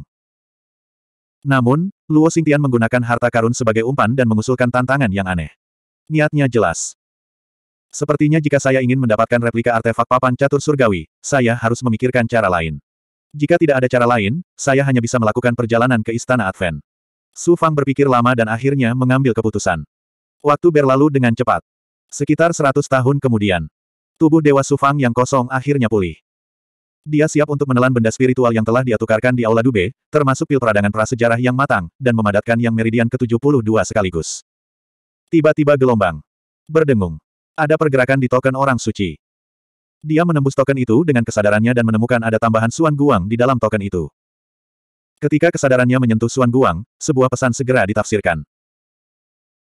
Ketika tanda-tanda pergolakan lain menjadi semakin jelas, Yuan Tiangong telah memutuskan untuk meningkatkan upaya untuk mengembangkan para jenius dan mempercepat langkahnya, menyesuaikan rencana untuk mengembangkan para jenius. Setelah menafsirkan pesan tersebut, Su Fang terkejut. Tampaknya pergolakan di Gunung Layak Surgawi berada di luar kendali makhluk tertinggi di dunia segudang. Sulit untuk menekannya. Pergolakan terakhir telah menyebabkan dunia segudang jatuh ke dalam kekacauan. Banyak yang mulia penguasa telah bergabung untuk menciptakan Yuan Tiangong sebagai persiapan menghadapi bencana terakhir. Tak disangka, tak lama kemudian muncul tanda-tanda pergolakan lagi. Begitu hal itu terjadi, berarti bencana apokaliptik telah datang lebih awal. Sein Sufang, sebelum kompetisi kecil seratus ribu tahun, Anda harus menyelesaikan tugas dasar berikut. Jika tidak, status Anda sebagai orang suci akan dicabut. Pertama, kamu setidaknya harus melewati menara sepuluh ribu mantra tingkat 77. Kedua, kamu harus menyelesaikan uji coba putih satu kali. Ketiga, Kamu harus bertahan hidup di zona rahasia balai pertempuran surgawi selama 100 tahun. Keempat, kamu harus menyerahkan 100 benda spiritual primal. Kelima, kamu harus membunuh iblis tingkat raja tingkat menengah, goblin besar, jalan jahat, atau pembangkit tenaga listrik yang dibangkitkan. Mulai hari ini dan seterusnya, poin yang diberikan untuk semua tugas akan digandakan. Poin yang dihabiskan di zona rahasia budidaya di Yuan Tiangong akan dikurangi setengahnya. Setelah menafsirkan pesan tersebut, Su Fang tersenyum kecut. Flame High juga menerima pesan yang sama. Dia mendatangi Su Fang. Sein, ini akan merepotkan. Saya tidak menyangka Yuan Tiangong akan meningkatkan tugas dasar sebanyak itu secara tiba-tiba, desah Su Fang. Tugas dasar para jenius di masing-masing empat alam, langit, bumi, hitam, dan kuning, berbeda. Dalam 10.000 tahun pertama kompetisi kecil, tugas dasarnya adalah melewati menara 10.000 mantra. Dalam kompetisi kecil berusia 100 ribu tahun, selain menara 10 ribu mantra, para jenius juga harus menyelesaikan tugas yang berbeda, serta berbagai pengalaman. Kali ini, Yuan Tiangong tiba-tiba mengubah tugas dasarnya. Kesulitannya meningkat lebih dari 10 kali lipat. Su Fang berkata, tugas pertama adalah melewati menara 10 ribu mantra tingkat 77. Aku yakin bisa melewatinya. Tugas keempat juga tidak sulit. Bagian yang sulit terletak pada tugas kedua, tugas ketiga, dan kelima. Yuan Tiangong menempatkan banyak tanah berbahaya, tanpa harapan, dan tandus di alam semesta sebagai tempat pelatihan bagi para jenius Yuan Tiangong. Menurut tingkat bahayanya, mereka dikategorikan ke dalam lima warna berbeda, hijau, kuning, merah, putih, dan hitam hijau adalah yang terendah, dan hitam adalah yang tertinggi. Beberapa tempat latihan ini terkenal sebagai tempat berbahaya di alam semesta. Kecil kemungkinannya untuk bertahan hidup setelah memasukinya. Beberapa di antaranya adalah tempat yang digunakan oleh beberapa protos kuno dan organisasi terkemuka untuk melatih murid-muridnya. Tingkat bahayanya tidak tinggi. Tempat latihan hijau dan merah sebagian besar termasuk dalam kategori ini. Uji coba peleburan hitam adalah sesuatu yang hanya bisa dilakukan oleh pembangkit tenaga listrik dewa yang berdaulat dengan kekuatan setingkat denganku. Meski begitu, itu hanyalah sebuah kemungkinan. Jika aku mengikuti uji coba peleburan hitam, kemungkinan kematianku lebih dari 70%. Tidak mungkin untuk salah satu jenius dari Istana Surgawi Primordius yang dapat mencapai hal ini. Jika seseorang tidak memiliki kemampuan tingkat raja tingkat menengah seperti Infinite Life, kecil kemungkinannya untuk bertahan hidup setelah memasuki tempat latihan putih. Yuan Tiangong sebenarnya memberikan tugas seperti itu kepada Putra Suci. Ini sangat sulit, meski kemampuan Putra Suci luar biasa, namun. Ada juga tugas membunuh makhluk jahat yang sebanding dengan Lord tingkat menengah. Meskipun tidak seberbahaya tempat latihan orang kulit putih, itu masih sangat berbahaya. Adapun Battle Heavenly Palace, meskipun sedikit lebih sulit, itu tidak sampai pada titik kematian. Grey Flamesy menggelengkan kepalanya berulang kali. Dia kemudian mengeluarkan slip giok dan berkata kepada Su Fang, inilah berbagai tempat latihan utama yang telah aku salin dari Istana Alpha. Silakan pilih salah satu, Putra Suci, sehingga aku dapat mempersiapkannya untukmu terlebih dahulu. Sebagai untuk tugas lainnya, tidak perlu terburu-buru. Su Fang memeriksa seluruh tempat latihan dengan hati-hati dan tidak bisa menahan cemberutnya. Ternyata, Istana utama Istana Dewa Advent terdaftar sebagai tempat latihan hitam. Ada tiga tempat berbahaya di pinggiran Istana Dewa Advent yang terdaftar sebagai tempat latihan orang kulit putih. Di antaranya adalah kuil rusak yang disebutkan Luo Xingtian. Yuan Tiangong menamai kuil yang rusak ini sebagai kuil reruntuhan surgawi. Huff, Luo Xingtian jelas tahu bahwa Yuan Tiangong akan meningkatkan kesulitan misinya. Itu sebabnya dia memberikan tantangan kepadaku dan memilih kuil reruntuhan surgawi sebagai lokasinya. Su Fang langsung mengerti. Luo Xingtian jelas tahu sesuatu tentang kuil kehancuran surgawi. Dia bahkan punya kartu truf yang dijamin menang. Itu sebabnya dia berani memberikan tantangan. Kalau tidak, dengan kemampuannya saat ini, bagaimana dia bisa punya nyali untuk menantangku? Demi senjata dewa replika papan catur dao surgawi dan untuk menyelesaikan misi pelatihan putih, aku tidak punya pilihan selain melakukan perjalanan ke kuil reruntuhan surgawi. Su Fang tersenyum dingin dan malu. Dia kemudian berkata pada Laut Grey Flame, Tuan, tolong kirim pesan ke suku Luo. Saya, Su Fang, menerima tantangan Luo Xingtian. Namun, saya harus memverifikasinya melalui Istana Hukuman Yuan Tiangong. Saya juga akan memutuskan kapan saya akan masuk. Kuil Kehancuran Surgawi. Juga, cobalah mencari tahu semua informasi berguna tentang kuil reruntuhan surgawi. 2266. Klan Luo dengan cepat merespons. Klan Luo langsung menyetujui persyaratan Su Fang. Hal ini membuat Su Fang semakin yakin bahwa klan Luo berencana menggunakan kuil kehancuran surga untuk menyingkirkannya. Pada hari ini, Su Fang mengaktifkan token itu dan ilusi poros ilahi muncul dan berubah menjadi istana sungguhan. Su Fang memimpin Chang Yan Hai dan sepuluh pengawal elit ke dalam istana. Di belakang Divine Pivot Hall, ada sebuah istana megah dan mematikan. Itu adalah balai hukuman Yuan Tiangong. Di depan aula, lebih dari selusin elit klan Luo sedang menunggu. Pemimpinnya adalah tetua agung klan Luo, Luo Yunchen. Tatapan orang-orang dari ras Luo ini memandang Su Fang dipenuhi dengan permusuhan. Pada saat yang sama, beberapa dari mereka memiliki pandangan gembira di mata mereka. Su Fang memiliki teknik penyusutan kehidupan rahasia surgawi, abicna solusi misteri surgawi, dan jiwa Ki Dharma ungu. Ia sangat peka terhadap segala pikiran yang mengancam dirinya. Dia dapat dengan mudah melihat pikiran orang-orang ini, tidak peduli seberapa dalam mereka menyembunyikannya. Luo Yunchen berjalan mendekat dan berkata dengan nada merendahkan, Anak suci Su Fang, kamu benar-benar telah memikirkannya dengan matang. Tantangan Luo Xingtian kepadamu telah dinilai oleh Balai Hukuman. Kamu tidak dapat menarik kembali kata-katamu. Su Fang bertanya, Luo Xingtian hanya mengatakan bahwa dia ingin memasuki kuil kehancuran surga. Bagaimana kita bisa menentukan siapa yang akan menang? Luo Yunchen berkata, ini sangat sederhana. Jadi, ini adalah kuil yang tidak lengkap yang oleh Istana Surgawi Primordius disebut kuil reruntuhan surga. Sebelumnya, pembangkit tenaga listrik Istana Surgawi Primordius telah menyelidikinya dan memutuskan bahwa itu adalah tempat yang melampaui zaman kuno dan digunakan untuk memenjarakan semua jenis pembangkit tenaga listrik. Untuk beberapa alasan, tingkat budidaya dewa sejati di atas alam integrasi Dao akan secara otomatis ditekan. Paling-paling, mereka hanya akan mampu mengerahkan kekuatan seorang kultivator alam integrasi Dao puncak. Para tokoh dikdaya Istana Surgawi Primordius telah membuat beberapa pengurangan. Jika pembangkit tenaga listrik tak tertandingi yang melampaui ranah integrasi Dao masuk dengan paksa, maka seluruh kuil kehancuran surga akan hancur dengan sendirinya. Letusan kekuatan bahkan bisa melukai pembangkit tenaga listrik kaisar. Selain itu, tidak banyak harta karun yang kuat di penjara seperti ini. Oleh karena itu, para elit Yuan Tiangong hanya menyelidiki pinggiran kuil dan tidak masuk lebih dalam. Tidak ada yang tahu apa yang terjadi di dalam kuil kehancuran surga. Kuil reruntuhan surgawi terdaftar sebagai tempat latihan putih oleh Yuan Tiangong. Misinya sangat sederhana, yaitu memasuki kuil dan mendapatkan harta terpenting, Prison Suppressing Codex. Masalah kodeks penekan penjara bukanlah rahasia. Itu tercatat dalam buku kuno beberapa klan dewa kuno. Di zaman kuno, umat manusia menciptakan banyak penjara untuk menekan dan menyegel iblis kuno dan iblis kuno yang sulit dibunuh, serta banyak keberadaan yang kuat. Artefak ilahi yang digunakan untuk mengendalikan penjara adalah kodeks penekan penjara. Belakangan, di zaman kuno, terjadi perang besar antara ras manusia dan ras iblis. Langit dan bumi runtuh, dan banyak makhluk kuat meninggalkan dunia besar saat ini dan membuka segudang dunia. Pada saat yang sama, mereka juga membawa penjara yang menyegel pembangkit tenaga listrik ke dunia segudang. Bahkan sekarang, banyak klan dewa kuno masih memiliki penjara yang khusus digunakan untuk memenjarakan musuh-musuh mereka. Luo Yunchen berkata, kamu dan Luo Xingtian akan memasuki kuil penghancur Demiage pada saat yang sama. Siapa pun yang mendapatkan kodeks penekan penjara terlebih dahulu akan menang. Apakah ini adil? Adil. Karena Luo Xingtian berani mengeluarkan tantangan seperti itu, klan Luo pasti sudah melakukan persiapan yang matang, bukan? Su Fang mendengus dan menatap Luo Yunchen seolah dia bisa melihat ke dalam dirinya. Jantung Luo Yunchen berdetak kencang. Dia adalah seorang ahli overgod dan bukan orang biasa. Saat ini, di bawah tatapan Su Fang, dia benar-benar merasa bingung. Seolah semua rahasia di hatinya sulit disembunyikan. Dia segera menenangkan dirinya dan berkata dengan acuh tak acuh, itu benar. Luo Xingtian bukan hanya satu-satunya jenius dari klan kami yang memasuki aula pelatihan alam bumi, tetapi juga kebanggaan klan kami. Kali ini, kami mengambil harta yang sangat berharga untuk menantangmu. Tentu saja, kami siap. Jika kamu tidak berani, kamu bisa mundur sekarang. Su Fang entah kenapa mendengus dan berjalan menuju aula hukuman.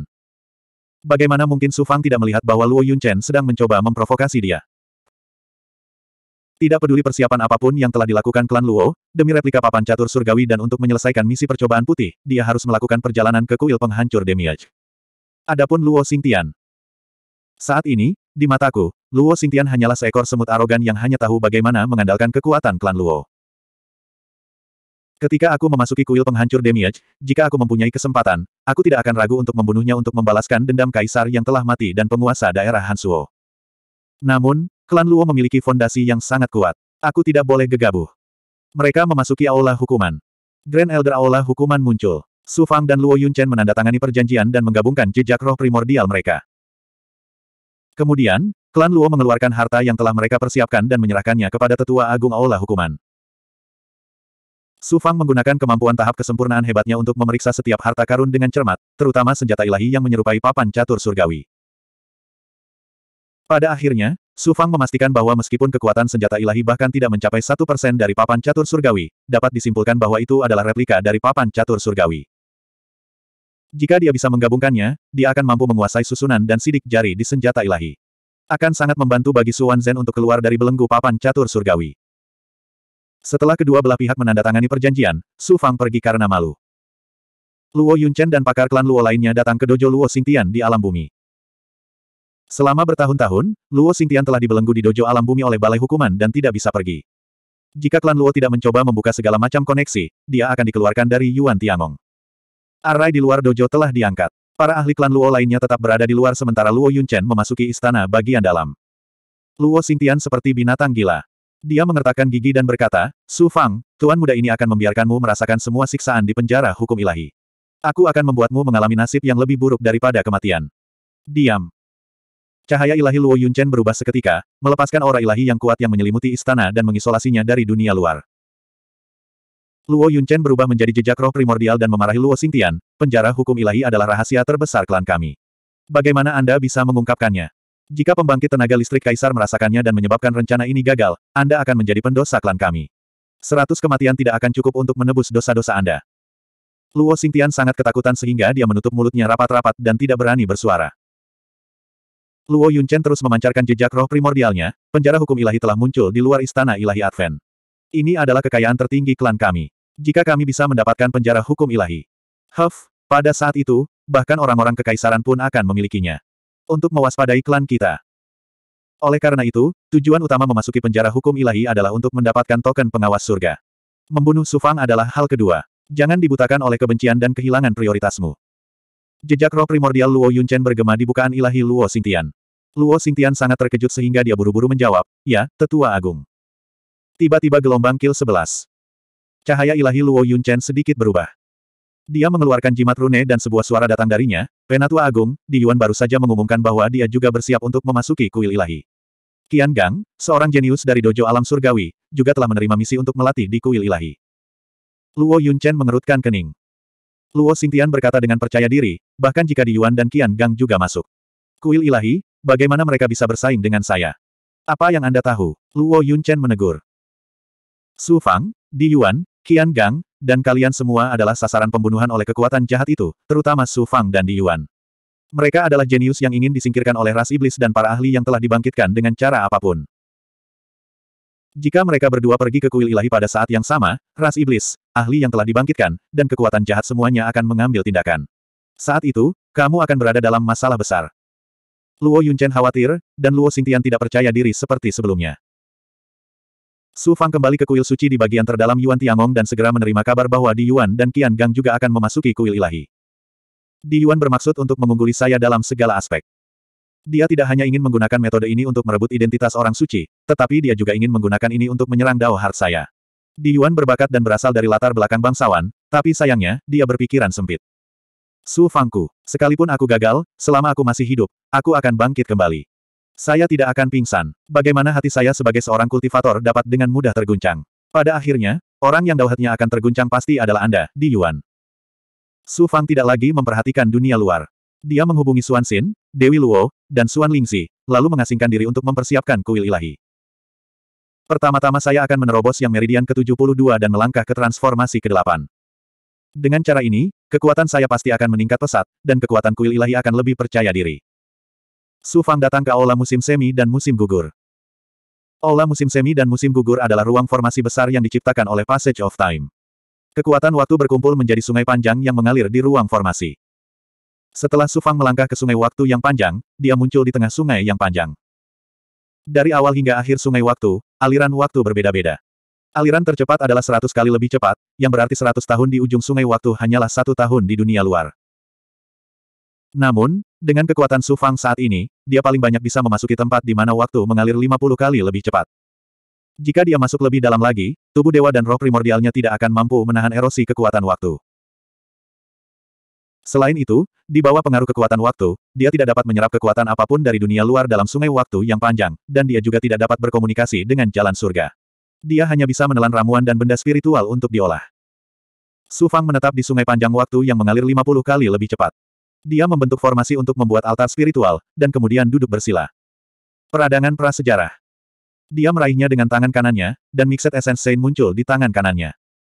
Kemudian, Su Fang melepaskan kekuatan Yin dan Yang. Cermin merah tua misterius itu beriak seperti permukaan danau, dan nyala api sebesar kepalan tangan keluar dari sana. Nyala api ini adalah peradangan prasejarah yang Su Fang telah habiskan 150 ribu poin untuk ditukarkan dari Alpha Hall. Berbeda dengan peradangan prasejarah yang telah diredakan oleh Su Fang, peradangan prasejarah ini berwarna merah tua. Api berkobar di dalamnya, dan memancarkan aura kuno yang sunyi. Itu jelas merupakan peradangan prasejarah yang telah berkembang hingga dewasa. Nilai peradangan prasejarah ini sungguh mencengangkan. Itu hanya sedikit lebih rendah dari api matahari ilahi. Setelah Su Fang mendapatkannya, dia meletakkannya di dalam cermin suci esensi campuran, sehingga cermin itu dapat menyerap aura cermin kuno. Dengan cara ini, akan lebih mudah untuk menyatu dengannya. Menyatu dengan peradangan prasejarah. Setelah aku menyatu dengan harta karun yang begitu sunyi, aku pasti akan berhasil membentuk yang meridian ke-72. 2267. Sekitar 50 tahun kemudian. Su Fang terbang keluar dari aula musim semi dan musim gugur dengan ekspresi tak berdaya di wajahnya. Ternyata, menggunakan peradangan prasejarah untuk menerobos yang meridian ke-72 telah gagal. Peradangan prasejarah mengandung esensi api dalam jumlah yang mengejutkan yang bahkan melampaui kondisi Su Fang saat ini. Jika tidak berasimilasi dengan aura cermin suci asal, Su Fang tidak akan bisa memadukannya dengan kekuatan yin dan yang miliknya. Setelah menyatu dengan sebagian besar peradangan prasejarah, Kekuatan yang menjadi lebih agung, dan istana Dao Langit dan Bumi menjadi lebih luas. Matahari ilahi di istana langit dan bumi Dao menjadi lebih terang, dan pohon dunia tumbuh sedikit. Namun, meridian tempat meridian yang ke-70 detik berada tidak menunjukkan tanda-tanda kelahiran. Su Fang dengan tegas menggunakan sisa peradangan prasejarah untuk mengembangkan fisik pencarian awan api. Pada saat yang sama, dia juga memberikan sebagian dari peradangan prasejarah untuk dirinya sendiri. Di sungai waktu yang panjang, Su Fang menghabiskan lebih dari 2000 tahun menyatu dengan semua peradangan prasejarah sebelum mengakhiri budidayanya. Memadatkan yang meridian ke-72 dan memasuki transformasi ke-8 sebenarnya sangat sulit. Sepertinya berkultivasi dalam pengasingan saja tidak cukup. Saya harus keluar dan mencari pertemuan kebetulan untuk membentuk yang meridian. Mungkin saya dapat menemukan peluang dan peluang untuk memasuki transformasi ke-8 di kuil kehancuran surga. Suara mendesing. Su Fang mengendalikan napasnya dan melampiaskan rasa frustrasi di hatinya. Meskipun dia gagal menyingkat yang meridian ke-72, dia pasti tertekan dan kecewa. Namun, dia tidak akan putus asa atau bimbang karena hal ini. Berdengung. Jimat rune di cincin penyimpanannya bergetar. Dia mengeluarkan jimat rune. Ternyata suara Dewi Luo dikirimkan kepadanya. Su Fang, apakah kamu akan memasuki kuil kehancuran surga bersama Luo Xingtian? Su Fang menjawab, itu benar. Kuil kehancuran surga sangat penting. Kamu harus berhati-hati. Klan Luo pasti merencanakan sesuatu. Akan aneh jika klan Luo tidak merencanakan sesuatu. Jangan khawatir, saya akan menanganinya ketika saatnya tiba. Saya khawatir segalanya tidak sesederhana yang Anda pikirkan. Dewi Luo sangat serius. Jantung Sufang berdetak kencang. Sepertinya kamu mengetahui banyak informasi orang dalam. Katakan padaku. Anda mungkin tidak tahu bahwa Istana Advent terbang keluar dari Gunung Layak Surgawi ketika dunia mengalami metamorfosis. Kemunculan kuil reruntuhan surgawi di luar Istana Advent pasti terkait dengan Gunung Layak Surgawi. Gunung Surgawi adalah inti dari alam semesta. Bagaimana sesuatu dari Gunung Surgawi bisa menjadi sederhana? Sejauh yang saya tahu, nenek moyang klan Luo pernah menjadi murid yang mulia. Dia menjaga penjara hukum ilahi di Gunung yang mulia. Dewi Luo berbicara tanpa lelah. Dia tampaknya sangat akrab dengan rahasia Gunung Surgawi dan ras Sen kuno. Su Fang bertanya dengan heran, jaga penjara hukum ilahi. Dao Surgawi beroperasi sesuai dengan aturannya sendiri, dan tidak ada yang bisa melanggarnya. Adapun Gunung Surgawi, itu adalah pusat kekuatan yang mengendalikan kekuatan Dao Surgawi. Itu mempertahankan pengoperasian Dao Surgawi sesuai dengan kehendak Dao Surgawi. Tugas nenek moyang klan Luo di Gunung Surgawi adalah menjaga penjara ilahi hukum surga. Saya khawatir kuil reruntuhan surgawi tidak sesederhana penjara yang memenjarakan berbagai ahli di zaman kuno. Jika tidak, mengapa Luo Xingtian menggunakan metode seperti itu untuk menantang Anda? Kata-kata Dewi Luo mengejutkan Su Fang. Setelah berpikir sejenak, Su Fang berkata dengan tegas, apa pun yang terjadi, saya harus melakukan perjalanan ke kuil kehancuran surgawi. Bahkan jika Luo Xingtian memiliki kemampuan yang menantang surga, dia tidak dapat melakukan apa pun terhadap saya. Dewi Luo berkata, kamu memiliki artefak tertinggi itu, jadi kamu tidak perlu takut dengan sampah seperti Luo Xingtian. Namun, kamu tetap harus berhati-hati.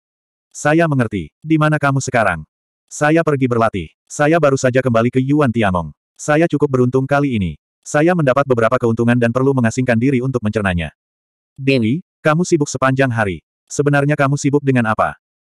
Saya tidak bisa memberitahu Anda tentang masalah saya sekarang. Jika tidak, itu akan sangat merugikan Anda. Jika sudah waktunya memberitahu Anda, saya akan menceritakan semuanya secara lengkap. Hati-hati di jalan. Suara samar Dewi Luo menghilang. Su Fang menghela nafas dalam hatinya. Dewi Luo seperti sebuah misteri yang tidak dapat dia pecahkan. Pada saat ini, roh primordial Chang Yanhai menyebar. Sein Sufang, klan Luo bertanya kapan kamu akan pergi ke kuil kehancuran surgawi. Abaikan mereka. Iya. Ada juga berita bahwa Yi Loyang, Chu Bingyan, dan para jenius lainnya juga berencana pergi ke kuil reruntuhan surgawi untuk berlatih. Ada juga kabar bahwa di luar kuil Advent, terdapat ahli dari klan iblis dan ahli kebangkitan. Mengerti. Su Fang mengangkat alisnya. Tampaknya pelatihan di kuil reruntuhan surgawi kali ini sedikit tidak biasa. Berbagai macam orang telah muncul. Ini masih dini. Saya harus meningkatkan kekuatan saya secepat mungkin. Dengan bantuan peradangan prasejarah, tingkat kultivasi saya telah stabil di alam integrasi surga-surga keempat. Kecil kemungkinan saya bisa maju ke surga kelima dalam waktu singkat. Aku tidak bisa menggunakan cermin suci asal dengan santai. Kartu trufku sekarang adalah teknik mediasi takdir. Namun, aku tidak bisa sering menggunakannya. Yang terpenting tetaplah penampilan Dao Surgawi. Hal penting berikutnya adalah meningkatkan kekuatan penampilan Dao Surgawi. Berbagai sub-aula kuil suci dapat digunakan untuk mengembangkan penampilan Dao Surgawi dan meningkatkan kekuatan tempur saya pada saat yang bersamaan. Penampakan Dao Surgawi adalah perwujudan tingkat dan hukum kultivasi dewa sejati di alam integrasi Dao.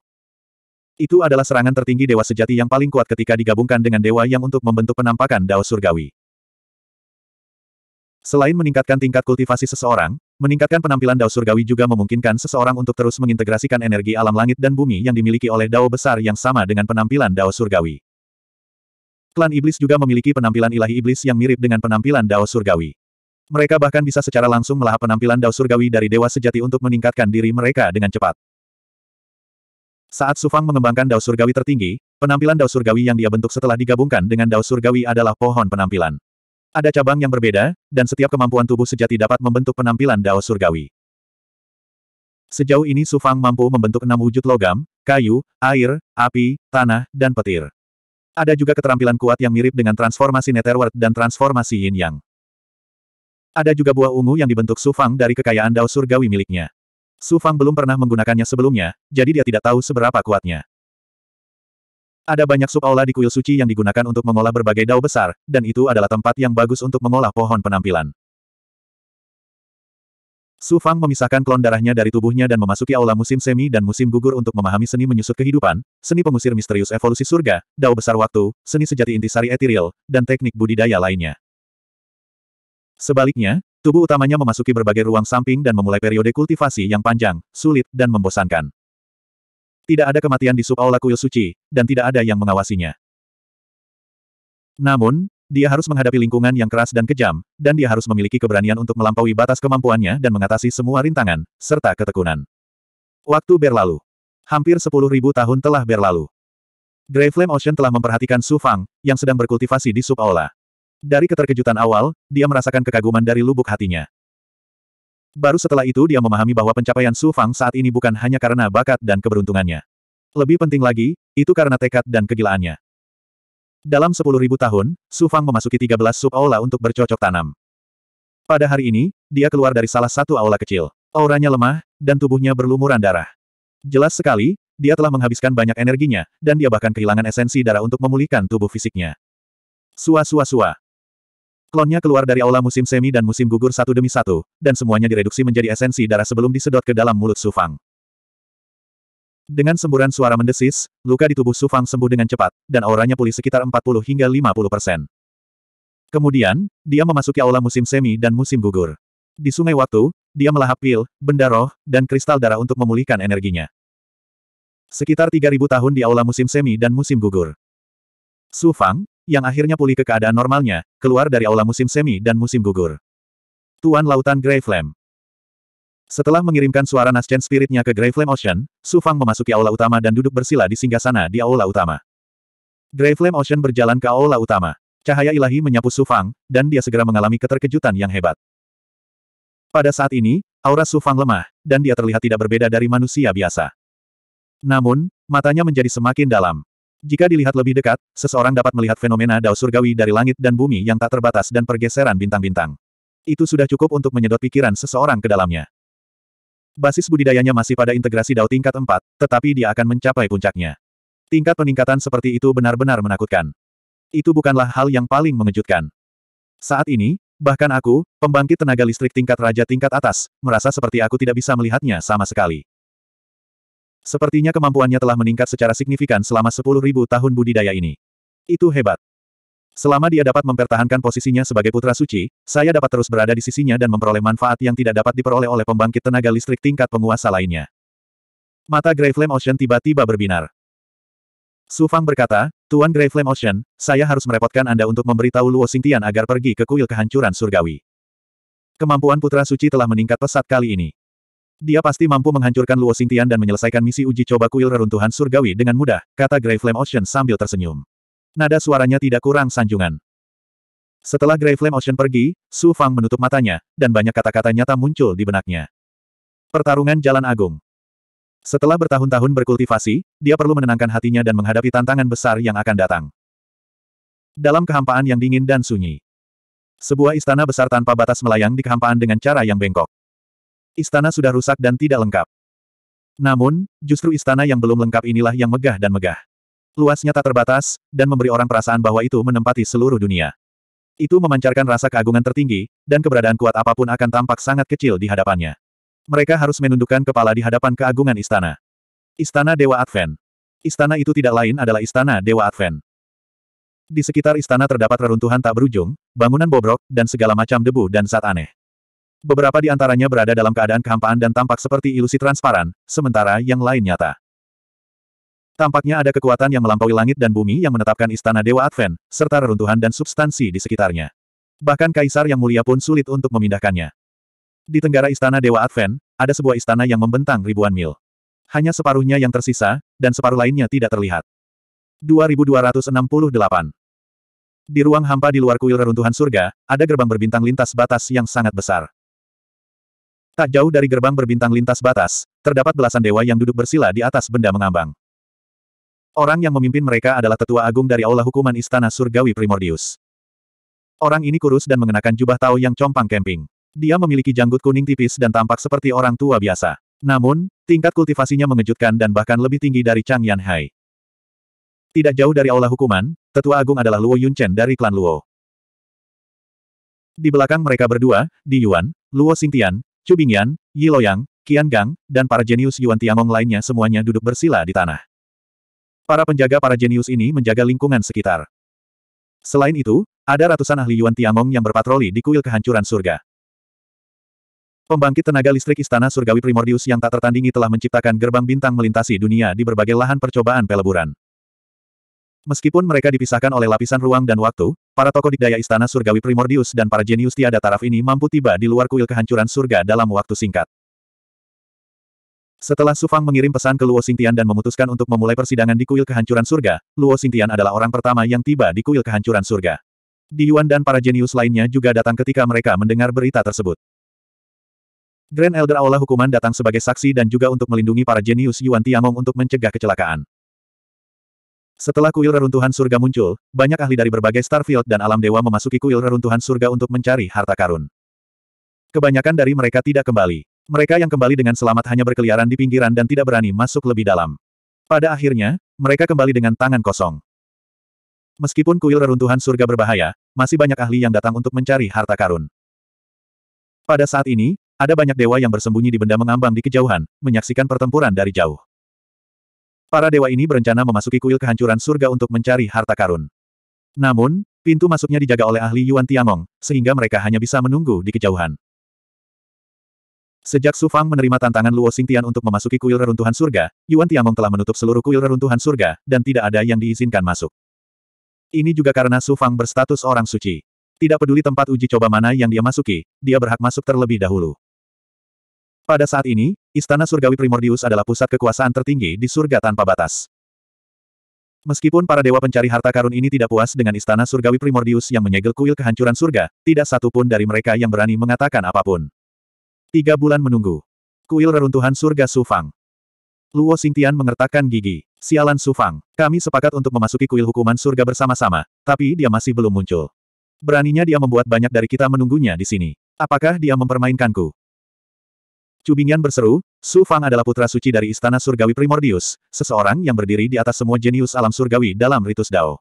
Kamu bahkan tidak akan bisa mempertahankan statusmu sebagai jenius alam bumi, jadi apa yang salah? Dengan menunggu beberapa hari untuknya. Yi Loyang mendengus. Su Fang hanyalah penjahat. Tidak lama lagi statusnya sebagai orang suci digantikan oleh Yuan Tiangong. Mari kita lihat betapa sombongnya dia. Kupikir kamu bisa menggantikan Su Fang. Chu Bingyan mencibir. Yi Loyang mendengus dan tidak mengatakan apa pun. Chu Bingyan memandang Qian Gang dan bertanya dengan rasa ingin tahu, Qian Gang, kami ahli alam surgawi hanya perlu lulus ujian di lapangan uji coba merah untuk menyelesaikan misi dasar. Anda adalah seorang kultivator Buddha yang tidak peduli pada ketenaran dan kekayaan. Mengapa Anda ingin memasuki kuil kehancuran surga? Qian Gang mengerutkan kening dan berkata, saya miskin. Chu Bingyan dan yang lainnya tercengang. Qian Gang berkata, ada banyak teknik Buddha dan kekuatan gaib yang hilang di kuil reruntuhan surga, tapi aku tidak punya uang untuk membelinya. Aku hanya bisa menantang misi yang sulit untuk mendapatkan lebih banyak poin.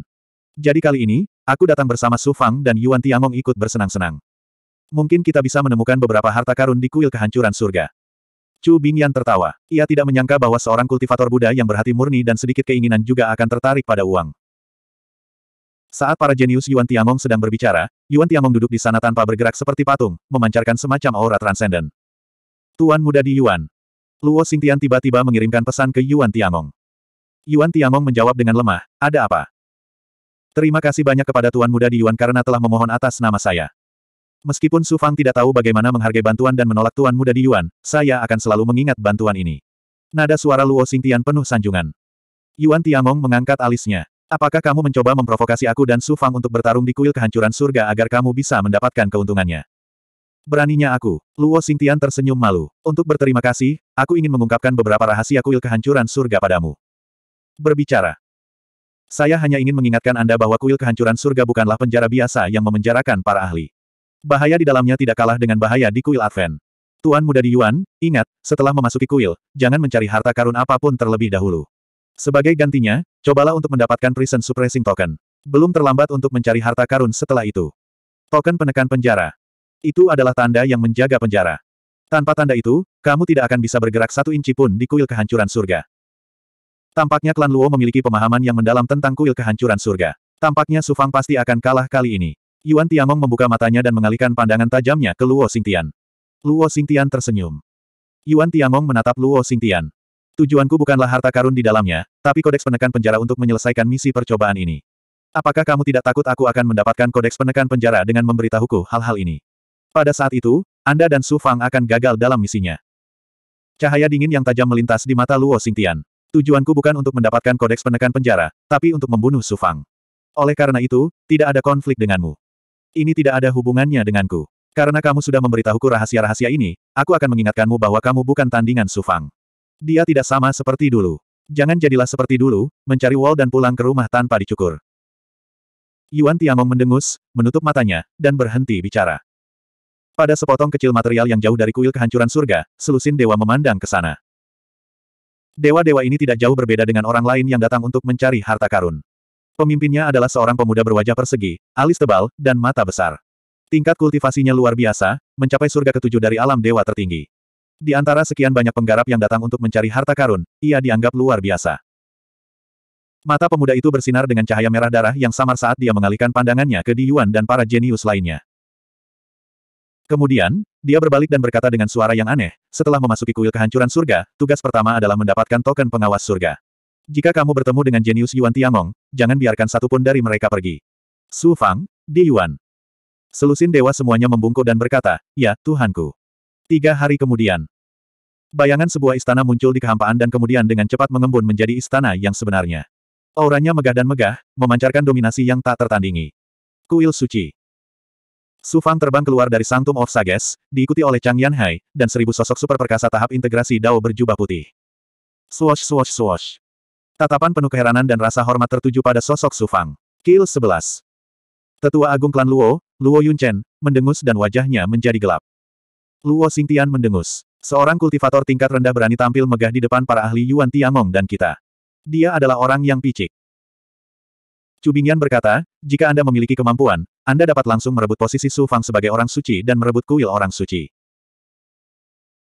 Luo Xingtian berkata, dalam uji coba peleburan kuil reruntuhan surga ini, secara alami aku akan menginjak kepalanya dan melihat kualifikasi apa yang dia miliki untuk menjadi putra suci dari istana surgawi primordius dan berdiri di atas tuan muda di Yuan. Luo Xingtian, kamu ingin menginjak kepalaku. Tubuh Su Fang bergoyang, dan kekuatan dewa tahap integrasi Dao ditampilkan. Dia mengabaikan belenggu ruang dan dunia dan langsung muncul di materi. Kamu sudah mempelajari pelajaranmu sekali. Kepalaku, Su Fang, tidak semudah itu untuk diinjak.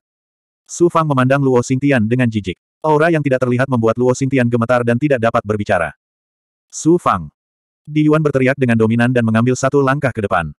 Ledakan. Aura mereka bertabrakan, dan mereka berdua mundur tiga langkah. Baru pada saat itulah Luo Xingtian melepaskan diri dari tekanan yang menakutkan.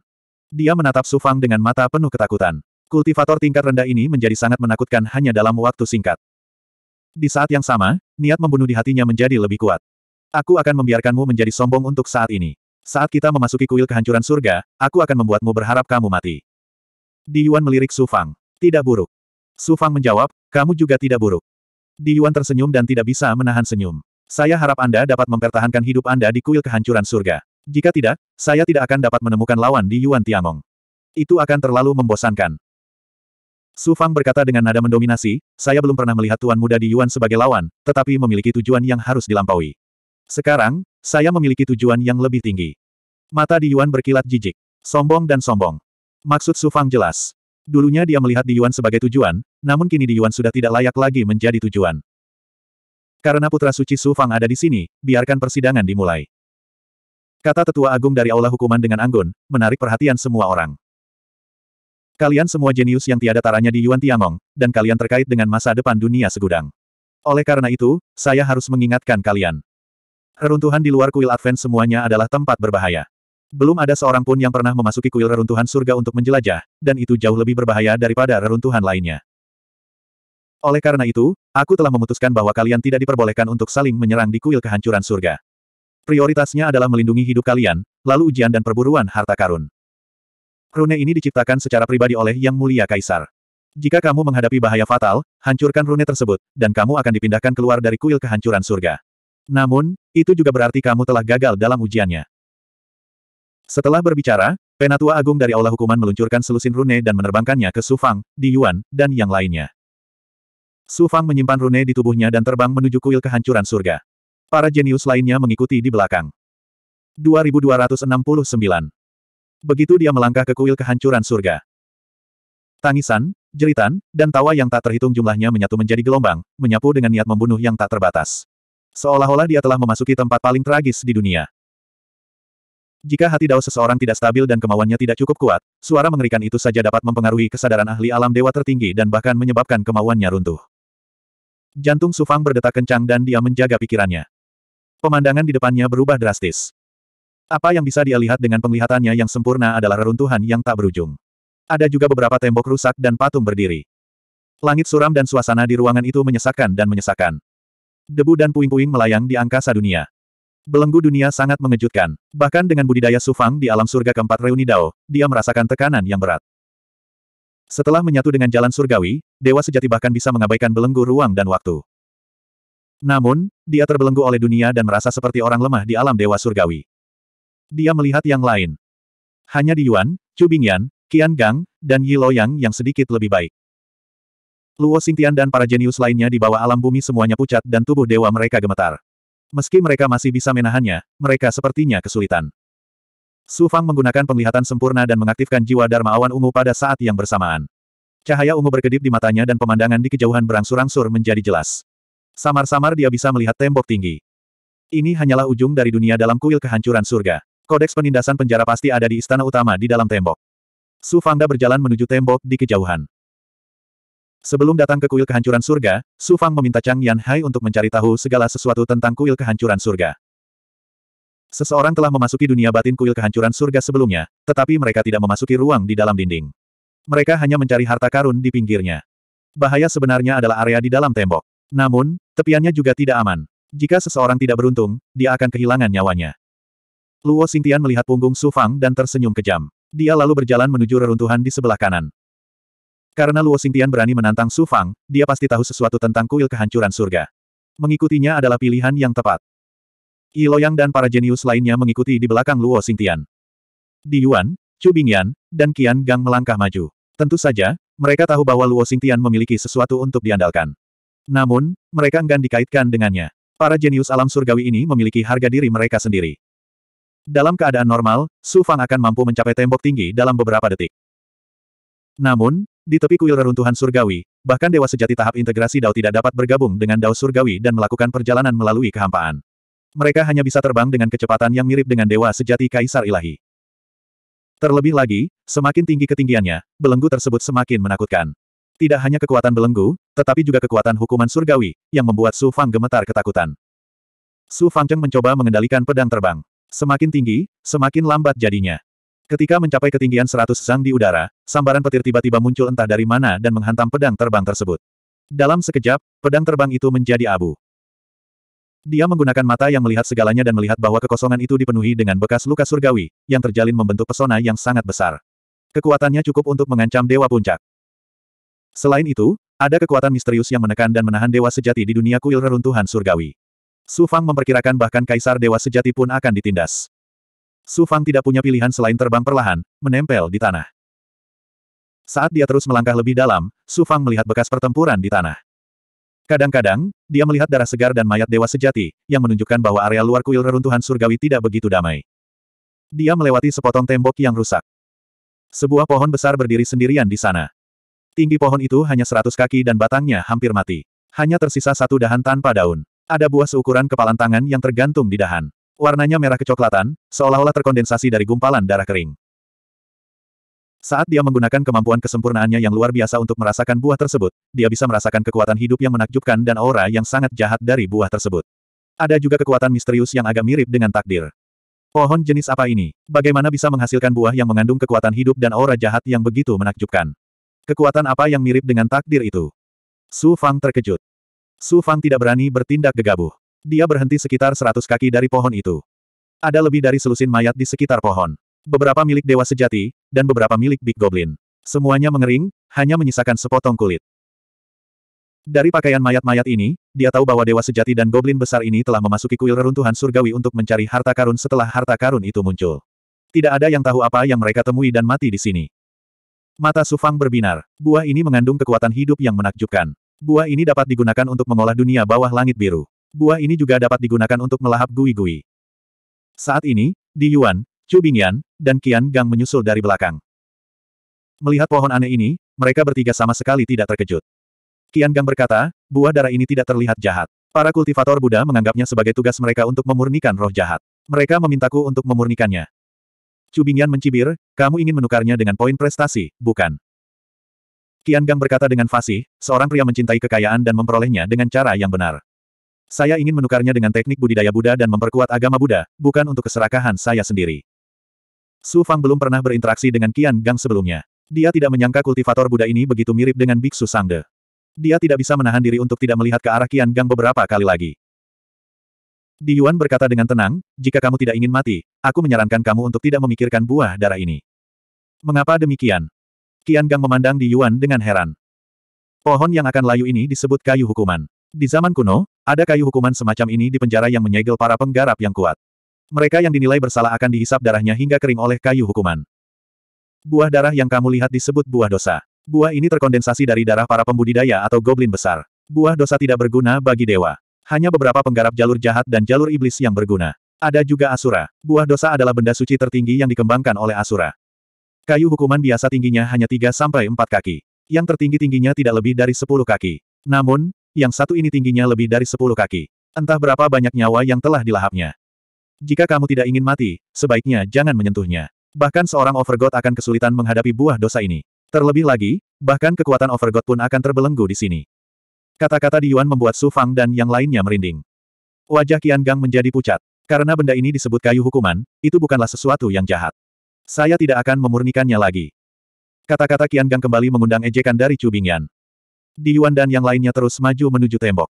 Su Fang melirik kayu hukuman. Meski dia tidak mau, tidak ada yang bisa dia lakukan. Saat dia hendak memasuki kedalaman kuil kehancuran surga, cermin suci asal di istana Dao Langit dan Bumi tiba-tiba mengeluarkan ki yang sangat dingin. Suara Suan Zen datang dari sana. Su Fang, kamu harus menemukan cara untuk mendapatkan buah dosa dan mayat yang telah dimakan oleh kayu hukuman. Kakak senior, kenapa kamu ada di sini? Kuil reruntuhan surga adalah tempat berbahaya di luar istana Advent. Bagaimana aku bisa merasa nyaman ketika kamu memasukinya? Bagaimanapun, saya telah memasuki beberapa reruntuhan dan peninggalan di luar istana Advent sebelumnya. Saya tahu banyak hal yang tidak diketahui orang biasa. Saya bisa memberi Anda beberapa petunjuk. Su Fang merasakan kehangatan di hatinya. Terima kasih, kakak senior. Saya pernah mendapatkan catatan kultivasi yang ditinggalkan oleh seorang ahli yang melampaui era primordial di aula samping di luar istana Advent. Dalam catatan itu, ada satu hal yang tercatat, dan itu tentang kayu hukuman. Setelah kayu hukuman melahap kehidupan dan darah para dewa dan goblin besar, kayu hukuman terkondensasi menjadi buah dosa yang mengandung esensi kehidupan dan kekuatan karma misterius. Kayu ini dapat membersihkan karma yang ditimbulkan oleh pembunuhan. Mengapa meskipun ras iblis, goblin besar, dan makhluk jahat lainnya dapat meningkatkan kekuatan mereka dengan cepat, sulit bagi mereka untuk mencapai puncak dao surga. Itu karena karma ada di dunia gaib. Semakin banyak seseorang membunuh, semakin besar belenggunya dan semakin besar pula penolakan dari dao surga. Oleh karena itu, sulit bagi seseorang untuk mencapai puncaknya. Ini adalah karma. Buah hukuman dapat membersihkan karma dari keberadaan jahat, yang berarti seseorang dapat mencapai puncaknya di masa depan. Terlebih lagi, kayu hukuman ini luar biasa. Tingginya sebenarnya 30 meter. Kuil reruntuhan surga memang tidak sederhana. Buah hukuman dipadatkan dari darah dan ki. Ini bahkan lebih efektif bagi ahli Asura. Dalam catatan ahli itu, pernah ada seorang Raja Asura yang tak segan-segan membayar berapapun harganya untuk membobol penjara yang digunakan untuk menindas para ahli demi mendapatkan buah dosa. Pada akhirnya, dia ditekan dan dimakan oleh kayu hukuman. Jika teman ras Dewa Asuramu melahap buah hukuman dosa seperti itu, pencapaiannya di masa depan tidak akan terbatas. Dia bahkan mungkin melampaui Asura senior dan mencapai puncak yang belum pernah dicapai Asura. Su Fang dengan tegas mengambil keputusan. Karena ini sangat berguna bagi Asura, kita harus mendapatkan buah darah ini apa pun yang terjadi. Lalu dia bertanya, apa dampak dari mayat-mayat itu? Beberapa efek, tapi tidak sebagus punishment fruit. Su Wanzhen menjelaskan lagi. Menurut catatan ahli, para dewa atau goblin besar yang dibunuh oleh kayu hukuman hanya memiliki lapisan kulit yang tersisa. Mereka sering dijadikan boneka dan digunakan sebagai penjaga penjara. Jika kamu menggabungkan kulit yang dimakan oleh Punishment Wood dengan sedikit life essence dari Punishment Fruit, kamu bisa berubah menjadi penampilan orang tersebut ketika mereka masih hidup. Tidak hanya penampilan, tapi bahkan auranya pun akan berubah. Persis sama, bahkan aura takdir pun akan berubah. Su Fang berkata dengan gembira, ada efek ajaib. Su Wanzhen memperingatkan, kamu tidak boleh gegabah. Kayu hukuman bukanlah benda spiritual biasa. Ini adalah kayu dewa yang dapat membunuh para ahli.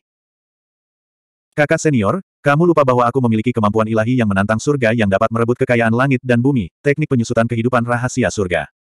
2270. Nasib adalah ciptaanku, dan aku mengendalikan langit. Jika aku menginginkan sesuatu, surga harus memilikinya. Su Fang mengaktifkan teknik penyusutan kehidupan rahasia surgawi. Tatapannya menyelimuti buah dosa di dahan pohon penghukuman dan tiga mayat di sekitarnya. Suara mendesing. Uff. Sebuah tangan raksasa meraih kayu penghukuman dan ruang di sekitarnya. Buah dosa jatuh dari dahan, dan tiga mayat di tanah juga melayang dari tanah. Itu bukanlah mayat, hanya tiga kulit manusia yang layu. Pohon penghukuman ditekan oleh kekuatan tak kasat mata, dan pohon itu bergetar tak terkendali. Seluruh batang pohon langsung berubah menjadi merah darah, dan kekuatan mengerikan mulai muncul. Namun, di bawah kekuatan takdir, pohon penghukuman tidak dapat mengeluarkan kekuatan apa pun. Dalam sekejap mata, Su Fang memproyeksikan kekuatan dunia dan mengambil buah dosa dan tiga kulit manusia, lalu menyerapnya ke dalam tubuhnya melalui telapak tangannya. Ledakan. Pohon penghukuman melepaskan ledakan kekuatan, dan dengan cepat menutupi area seluas 100 mil. Wajah merah darah muncul di batang pohon. Hanya ada satu mata di wajah ini, dan cahaya halus keluar dari pupilnya. Tampaknya ia mampu melihat nasib dan karma, dan ia ingin membunuh orang yang mencuri buah dosa. Retakan, retakan, retakan. Di dalam area yang dicakup oleh kekuatan pohon penghukuman, beberapa patung yang awalnya rusak, termasuk para dewa dan goblin besar, mulai berjatuhan lapis demi lapis. Patung-patung itu dengan cepat berubah menjadi boneka. Mereka tidak memiliki aura kehidupan, tetapi mereka memancarkan aura yang tinggi dan mematikan, dan mereka menyerang Sufang. Ada total selusin boneka, dan kekuatan masing-masing boneka berada di alam integrasi Dao. Bahkan seorang Overgod harus menghindari boneka seperti itu di wilayah luar kuil penghancuran surga yang dibatasi di mana-mana. Yang paling mengejutkan adalah mata tunggal yang tertuju pada pohon penghukuman. Cahaya yang dipancarkannya mengandung energi karma yang menakutkan. Jika seseorang tersentuh oleh energi ini, mereka akan ditolak dan dibelenggu oleh dao surgawi ke mana pun mereka pergi. Di Yuan dan yang lainnya merasakan pergerakan di sini, dan mereka semua melihat ke arah pohon penghukuman. Karena terhalang oleh kekuatan ilahi dari kayu hukuman, sulit bagi Di Yuan dan yang lainnya untuk merasakan apa yang terjadi di sini. Namun, mereka dapat menebak bahwa Su Fang dalam bahaya. Di Yuan mendengus dingin dan berkata, Tuan muda ini telah secara khusus mengingatkan mereka. Tidak disangka Su Fang masih memiliki rancangan pada kayu hukuman. Mereka benar-benar tidak tahu perbedaan antara hidup dan mati. Qian Gang berkata, menyelamatkan atau tidak. Jika Su Fang bersedia mengambil 10.000 poin, saya bersedia mengambil risiko untuk menyelamatkannya. Chu Bingyan berkata dengan tegas, tentu saja. Siapa sangka saat ini, dari bawah reruntuhan, boneka-boneka akan berdiri dengan gemetar satu demi satu, dan aura pembunuh mereka akan melonjak ke langit. Ekspresi di Yuan sedikit berubah. Jika kamu tidak ingin tinggal di sini, cepatlah pergi. Chu Bingyan dengan ragu bertanya, bagaimana dengan Su Fang? Dia memiliki jimat rune yang disempurnakan secara pribadi oleh Kaisar Realm Master, sehingga dia dapat diteleportasi kapan saja. Setidaknya, nyawanya tidak akan dalam bahaya.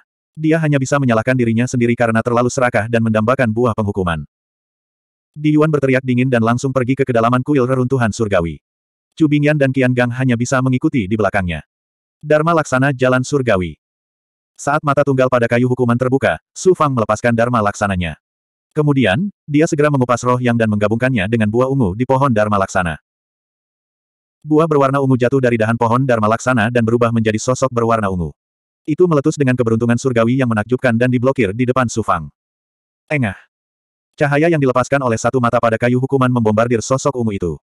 Kekuatan karma dan keberuntungan jalan surgawi bertabrakan secara diam-diam, memicu gelombang surgawi yang mengerikan. Kedua kekuatan jalan surgawi yang tak kasat mata melebur satu sama lain dan akhirnya tidak berubah menjadi apa pun. Roh yang sufang dan pohon Dharma Laksana dibawa kembali ke dalam tubuhnya. Takdir adalah ciptaan dunia, dan aku mengendalikan jalan surgawi. Jika aku hancur, semuanya akan hancur. Su Fang tidak ragu-ragu untuk menggunakan teknik penyusutan kehidupan jalan surgawi lagi. Kekuatan teknik penyusutan kehidupan surgawi membutakan nasibnya dan membuat nasib menyembunyikannya. Kekuatan jalan surgawi tak kasat mata yang dapat memutuskan nasib tiba-tiba memicu gelombang ki yang mengejutkan dari tubuh Su Fang dan tersapu. Kayu hukuman dan boneka-bonekanya langsung kehilangan kesadaran terhadap Su Fang. Faktanya, Su Fang masih di sana. Namun, apakah itu mata tunggal pada kayu hukuman atau boneka, mereka tidak dapat merasakan keberadaan Su Fang. Suara mendesing. Dalam sekejap, Su Fang mengaktifkan pesawat ulang-alik pelangi yang menusuk surga. Seperti pelangi emas, dia terbang keluar dari area yang dicakup oleh teknik penyusutan kehidupan surgawi dan mendarat ribuan mil jauhnya. Setelah menyingkirkan pesawat ulang-alik pelangi yang menusuk surga, Su Fang terhuyung dan hampir jatuh ke tanah. Lalu, dia memuntahkan seteguk darah. Mengaktifkan teknik penyusutan kehidupan jalan surgawi secara terus-menerus telah menghabiskan separuh umur Sufang. Sekarang, dia tampak berusia lima puluhan. Rambutnya putih, wajahnya tua, dan nafasnya lemah. Untungnya, pohon Dharma memblokir kekuatan karma yang dilepaskan oleh kayu hukuman. Jika tidak, bahkan dengan teknik penyusutan kehidupan jalan surgawi, saya tidak akan bisa melarikan diri. Saya harus menghancurkan jimat teleportasi dan meninggalkan kuil reruntuhan surgawi. Tetapi bagi Luo, untuk mendapatkan buah dosa, itu semua sepadan. Su Fang menyeka darah dari sudut mulutnya. Kemudian, dia menciptakan formasi di sekelilingnya untuk mengisolasi dirinya dari dunia luar. Di dalam formasi susunan, dia menggunakan dao besar waktu untuk membuat formasi susunan lainnya. Setelah duduk di dalam formasi susunan, dia berubah menjadi kondisi mata air biru langit kuning. Kemudian, dia mengeluarkan Good Fortune Saint Pill serta kristal darah yang dia peroleh dari membunuh tanaman dingin. Dia dengan cepat memulihkan kekuatan hidup yang telah dia konsumsi. Akan sulit untuk pulih dalam waktu singkat. Ini adalah harga menggunakan teknik penyusutan kehidupan surgawi. Sekitar setengah tahun kemudian. Di luar kuil reruntuhan surgawi. Penatua pertama dari Aula Hukuman, Luo Yunchen, Chang Yanhai, seribu penjaga Su Fang, dan ahli lainnya dari Yuan Tiangong berjaga di luar kuil kehancuran surgawi. Astaga, astaga. Para dewa yang mengawasi dari jauh tidak bisa lagi menahan diri. Mereka semua datang ke kuil kehancuran surgawi. Awalnya, hanya ada beberapa ratus orang. Belakangan, ada lebih dari sepuluh ribu orang. Penatua pertama dari Aula Hukuman berteriak, para jenius dari Yuan Tiangong sedang berlatih di kuil reruntuhan surgawi. Kuil reruntuhan surgawi ditutup. Tidak ada yang diizinkan masuk. Pergi sekarang. Terjadi keheningan sesaat. Kerumunan melontarkan teguran tidak puas. Kuil reruntuhan surgawi bukanlah milik pribadi Yuan Tiangong. Mengapa para jenius itu bisa masuk tetapi kita tidak? Sekarang, pembangkit tenaga listrik yang telah bangkit merugikan banyak sekali dunia di alam semesta. Banyak keberadaan tak tertandingi telah menciptakan istana surgawi primordius, dan mereka yang memiliki kekuatan dan pengaruh dapat berlindung di istana surgawi primordius dan dunia surga primordius.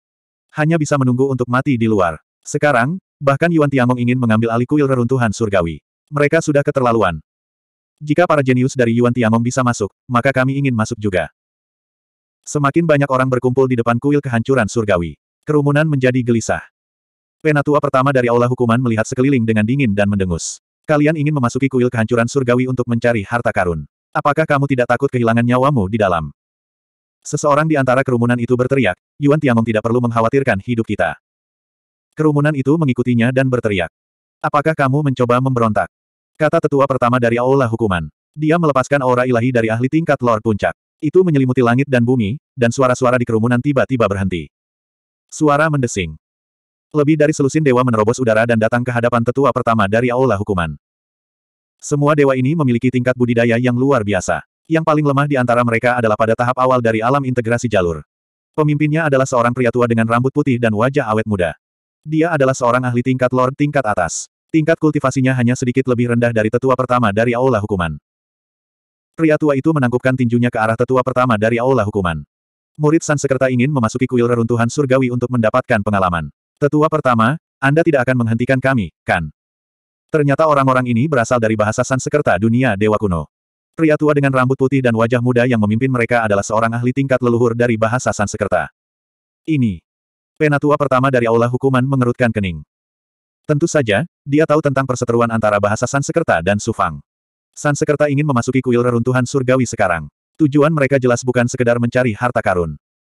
Namun, bahasa Sansekerta sangat kuat dan memiliki ahli yang mulia. Punishment Hall tidak bisa menolak mereka. Tiba-tiba, lebih dari sepuluh ahli terbang keluar dari kerumunan. Pemimpinnya adalah seorang pemuda yang tampaknya berusia sekitar 17 atau 18 tahun. Namun, dia memberikan perasaan perubahan hidup yang tak terlukiskan. Dia adalah Grandmaster kedua rakyat Ji. Ada lebih dari sepuluh pemuda di belakangnya. Semuanya tampan dan luar biasa. Mereka adalah elit dari rakyat Ji. Salah satu pemuda itu berwajah persegi, alis tebal, dan mata besar. Dia juga sangat tidak mencolok di antara murid-murid rakyat Ji. Grandmaster kedua dari orang Ji menangkupkan tinjunya dan berkata, para murid dari orang Ji juga ingin memasuki kuil kehancuran surgawi untuk mendapatkan pengalaman. Tetua pertama, tolong buatkan kemudahan bagi kami. Penatua pertama dari aula hukuman mengerutkan kening lagi. Saya tidak bisa mengambil keputusan mengenai masalah ini. Saya harus melaporkannya kepada Yang Mulia Lord Xiao. Penatua pertama dari aula hukuman berpikir sejenak. Dia mengeluarkan jimat rune dan menghubungi Yang Mulia Lord Xiao Wanting, yang bertanggung jawab atas hukuman Yuan Tiangong. Karena ini adalah sebuah pengalaman, tidak ada salahnya meningkatkan kesulitannya. Suara Agung Xiao Wanting datang dari jimat rune. Penatua pertama dari aula hukuman memahami maksud Xiao Wanting dan segera membiarkan mereka masuk. Orang Sansekerta dan orang Ji diizinkan masuk ke kuil reruntuhan surgawi. Kemudian, para petualang dari berbagai bidang bintang diizinkan masuk. Chang Yanhai diam-diam menyampaikan pikirannya kepada tetua pertama dari aula hukuman. Tetua pertama, ada klan iblis, ahli kejahatan, dan goblin besar di antara para dewa pencari harta karun ini. Bahkan ada ahli yang telah dibangkitkan. Jika kita membiarkan mereka masuk, bukankah mereka akan menjadi ancaman bagi putra suci Su Fang, muda Tuan di Yuan, dan para jenius Yuan Tiangong lainnya? Tetua pertama dari aula hukuman menjawab, para jenius ini cepat atau lambat harus menghadapi ujian ini. Mereka bisa menggunakan kuil kehancuran surgawi untuk mendapatkan pengalaman. Di tepi kuil reruntuhan surgawi. Lebih dari setengah tahun telah berlalu. Su Fang telah menghabiskan hampir 10 tahun di formasi waktu. Di bawah kondisi Heaven Underworld, dia menelan ramuan dan kristal darah tanpa kendali. Kekuatan hidup yang dia konsumsi berangsur-angsur pulih 60 hingga 70 persen. Pada hari ini, tubuh fisik dengan cepat mengembun di dalam darah. Kemudian, dengan membalikkan telapak tangannya, buah darah seukuran kepalan tangan muncul di telapak tangannya. Itu adalah buah dosa yang dia peroleh dengan resiko besar. Kemudian, dia mengulurkan tangan dan mengambil sepotong kulit manusia yang keriput. Setelah berpikir sejenak, Su Fang melepaskan kekuatan kidarah dan yin dan yang dan meresap ke dalam buah dosa. Mendesis. Mendesis. Kulit buah dosa segera mengeluarkan kabut darah tebal begitu menyentuh ki darah Su Fang. Itu dengan cepat digabungkan oleh kekuatan kidarah dan yin dan yang.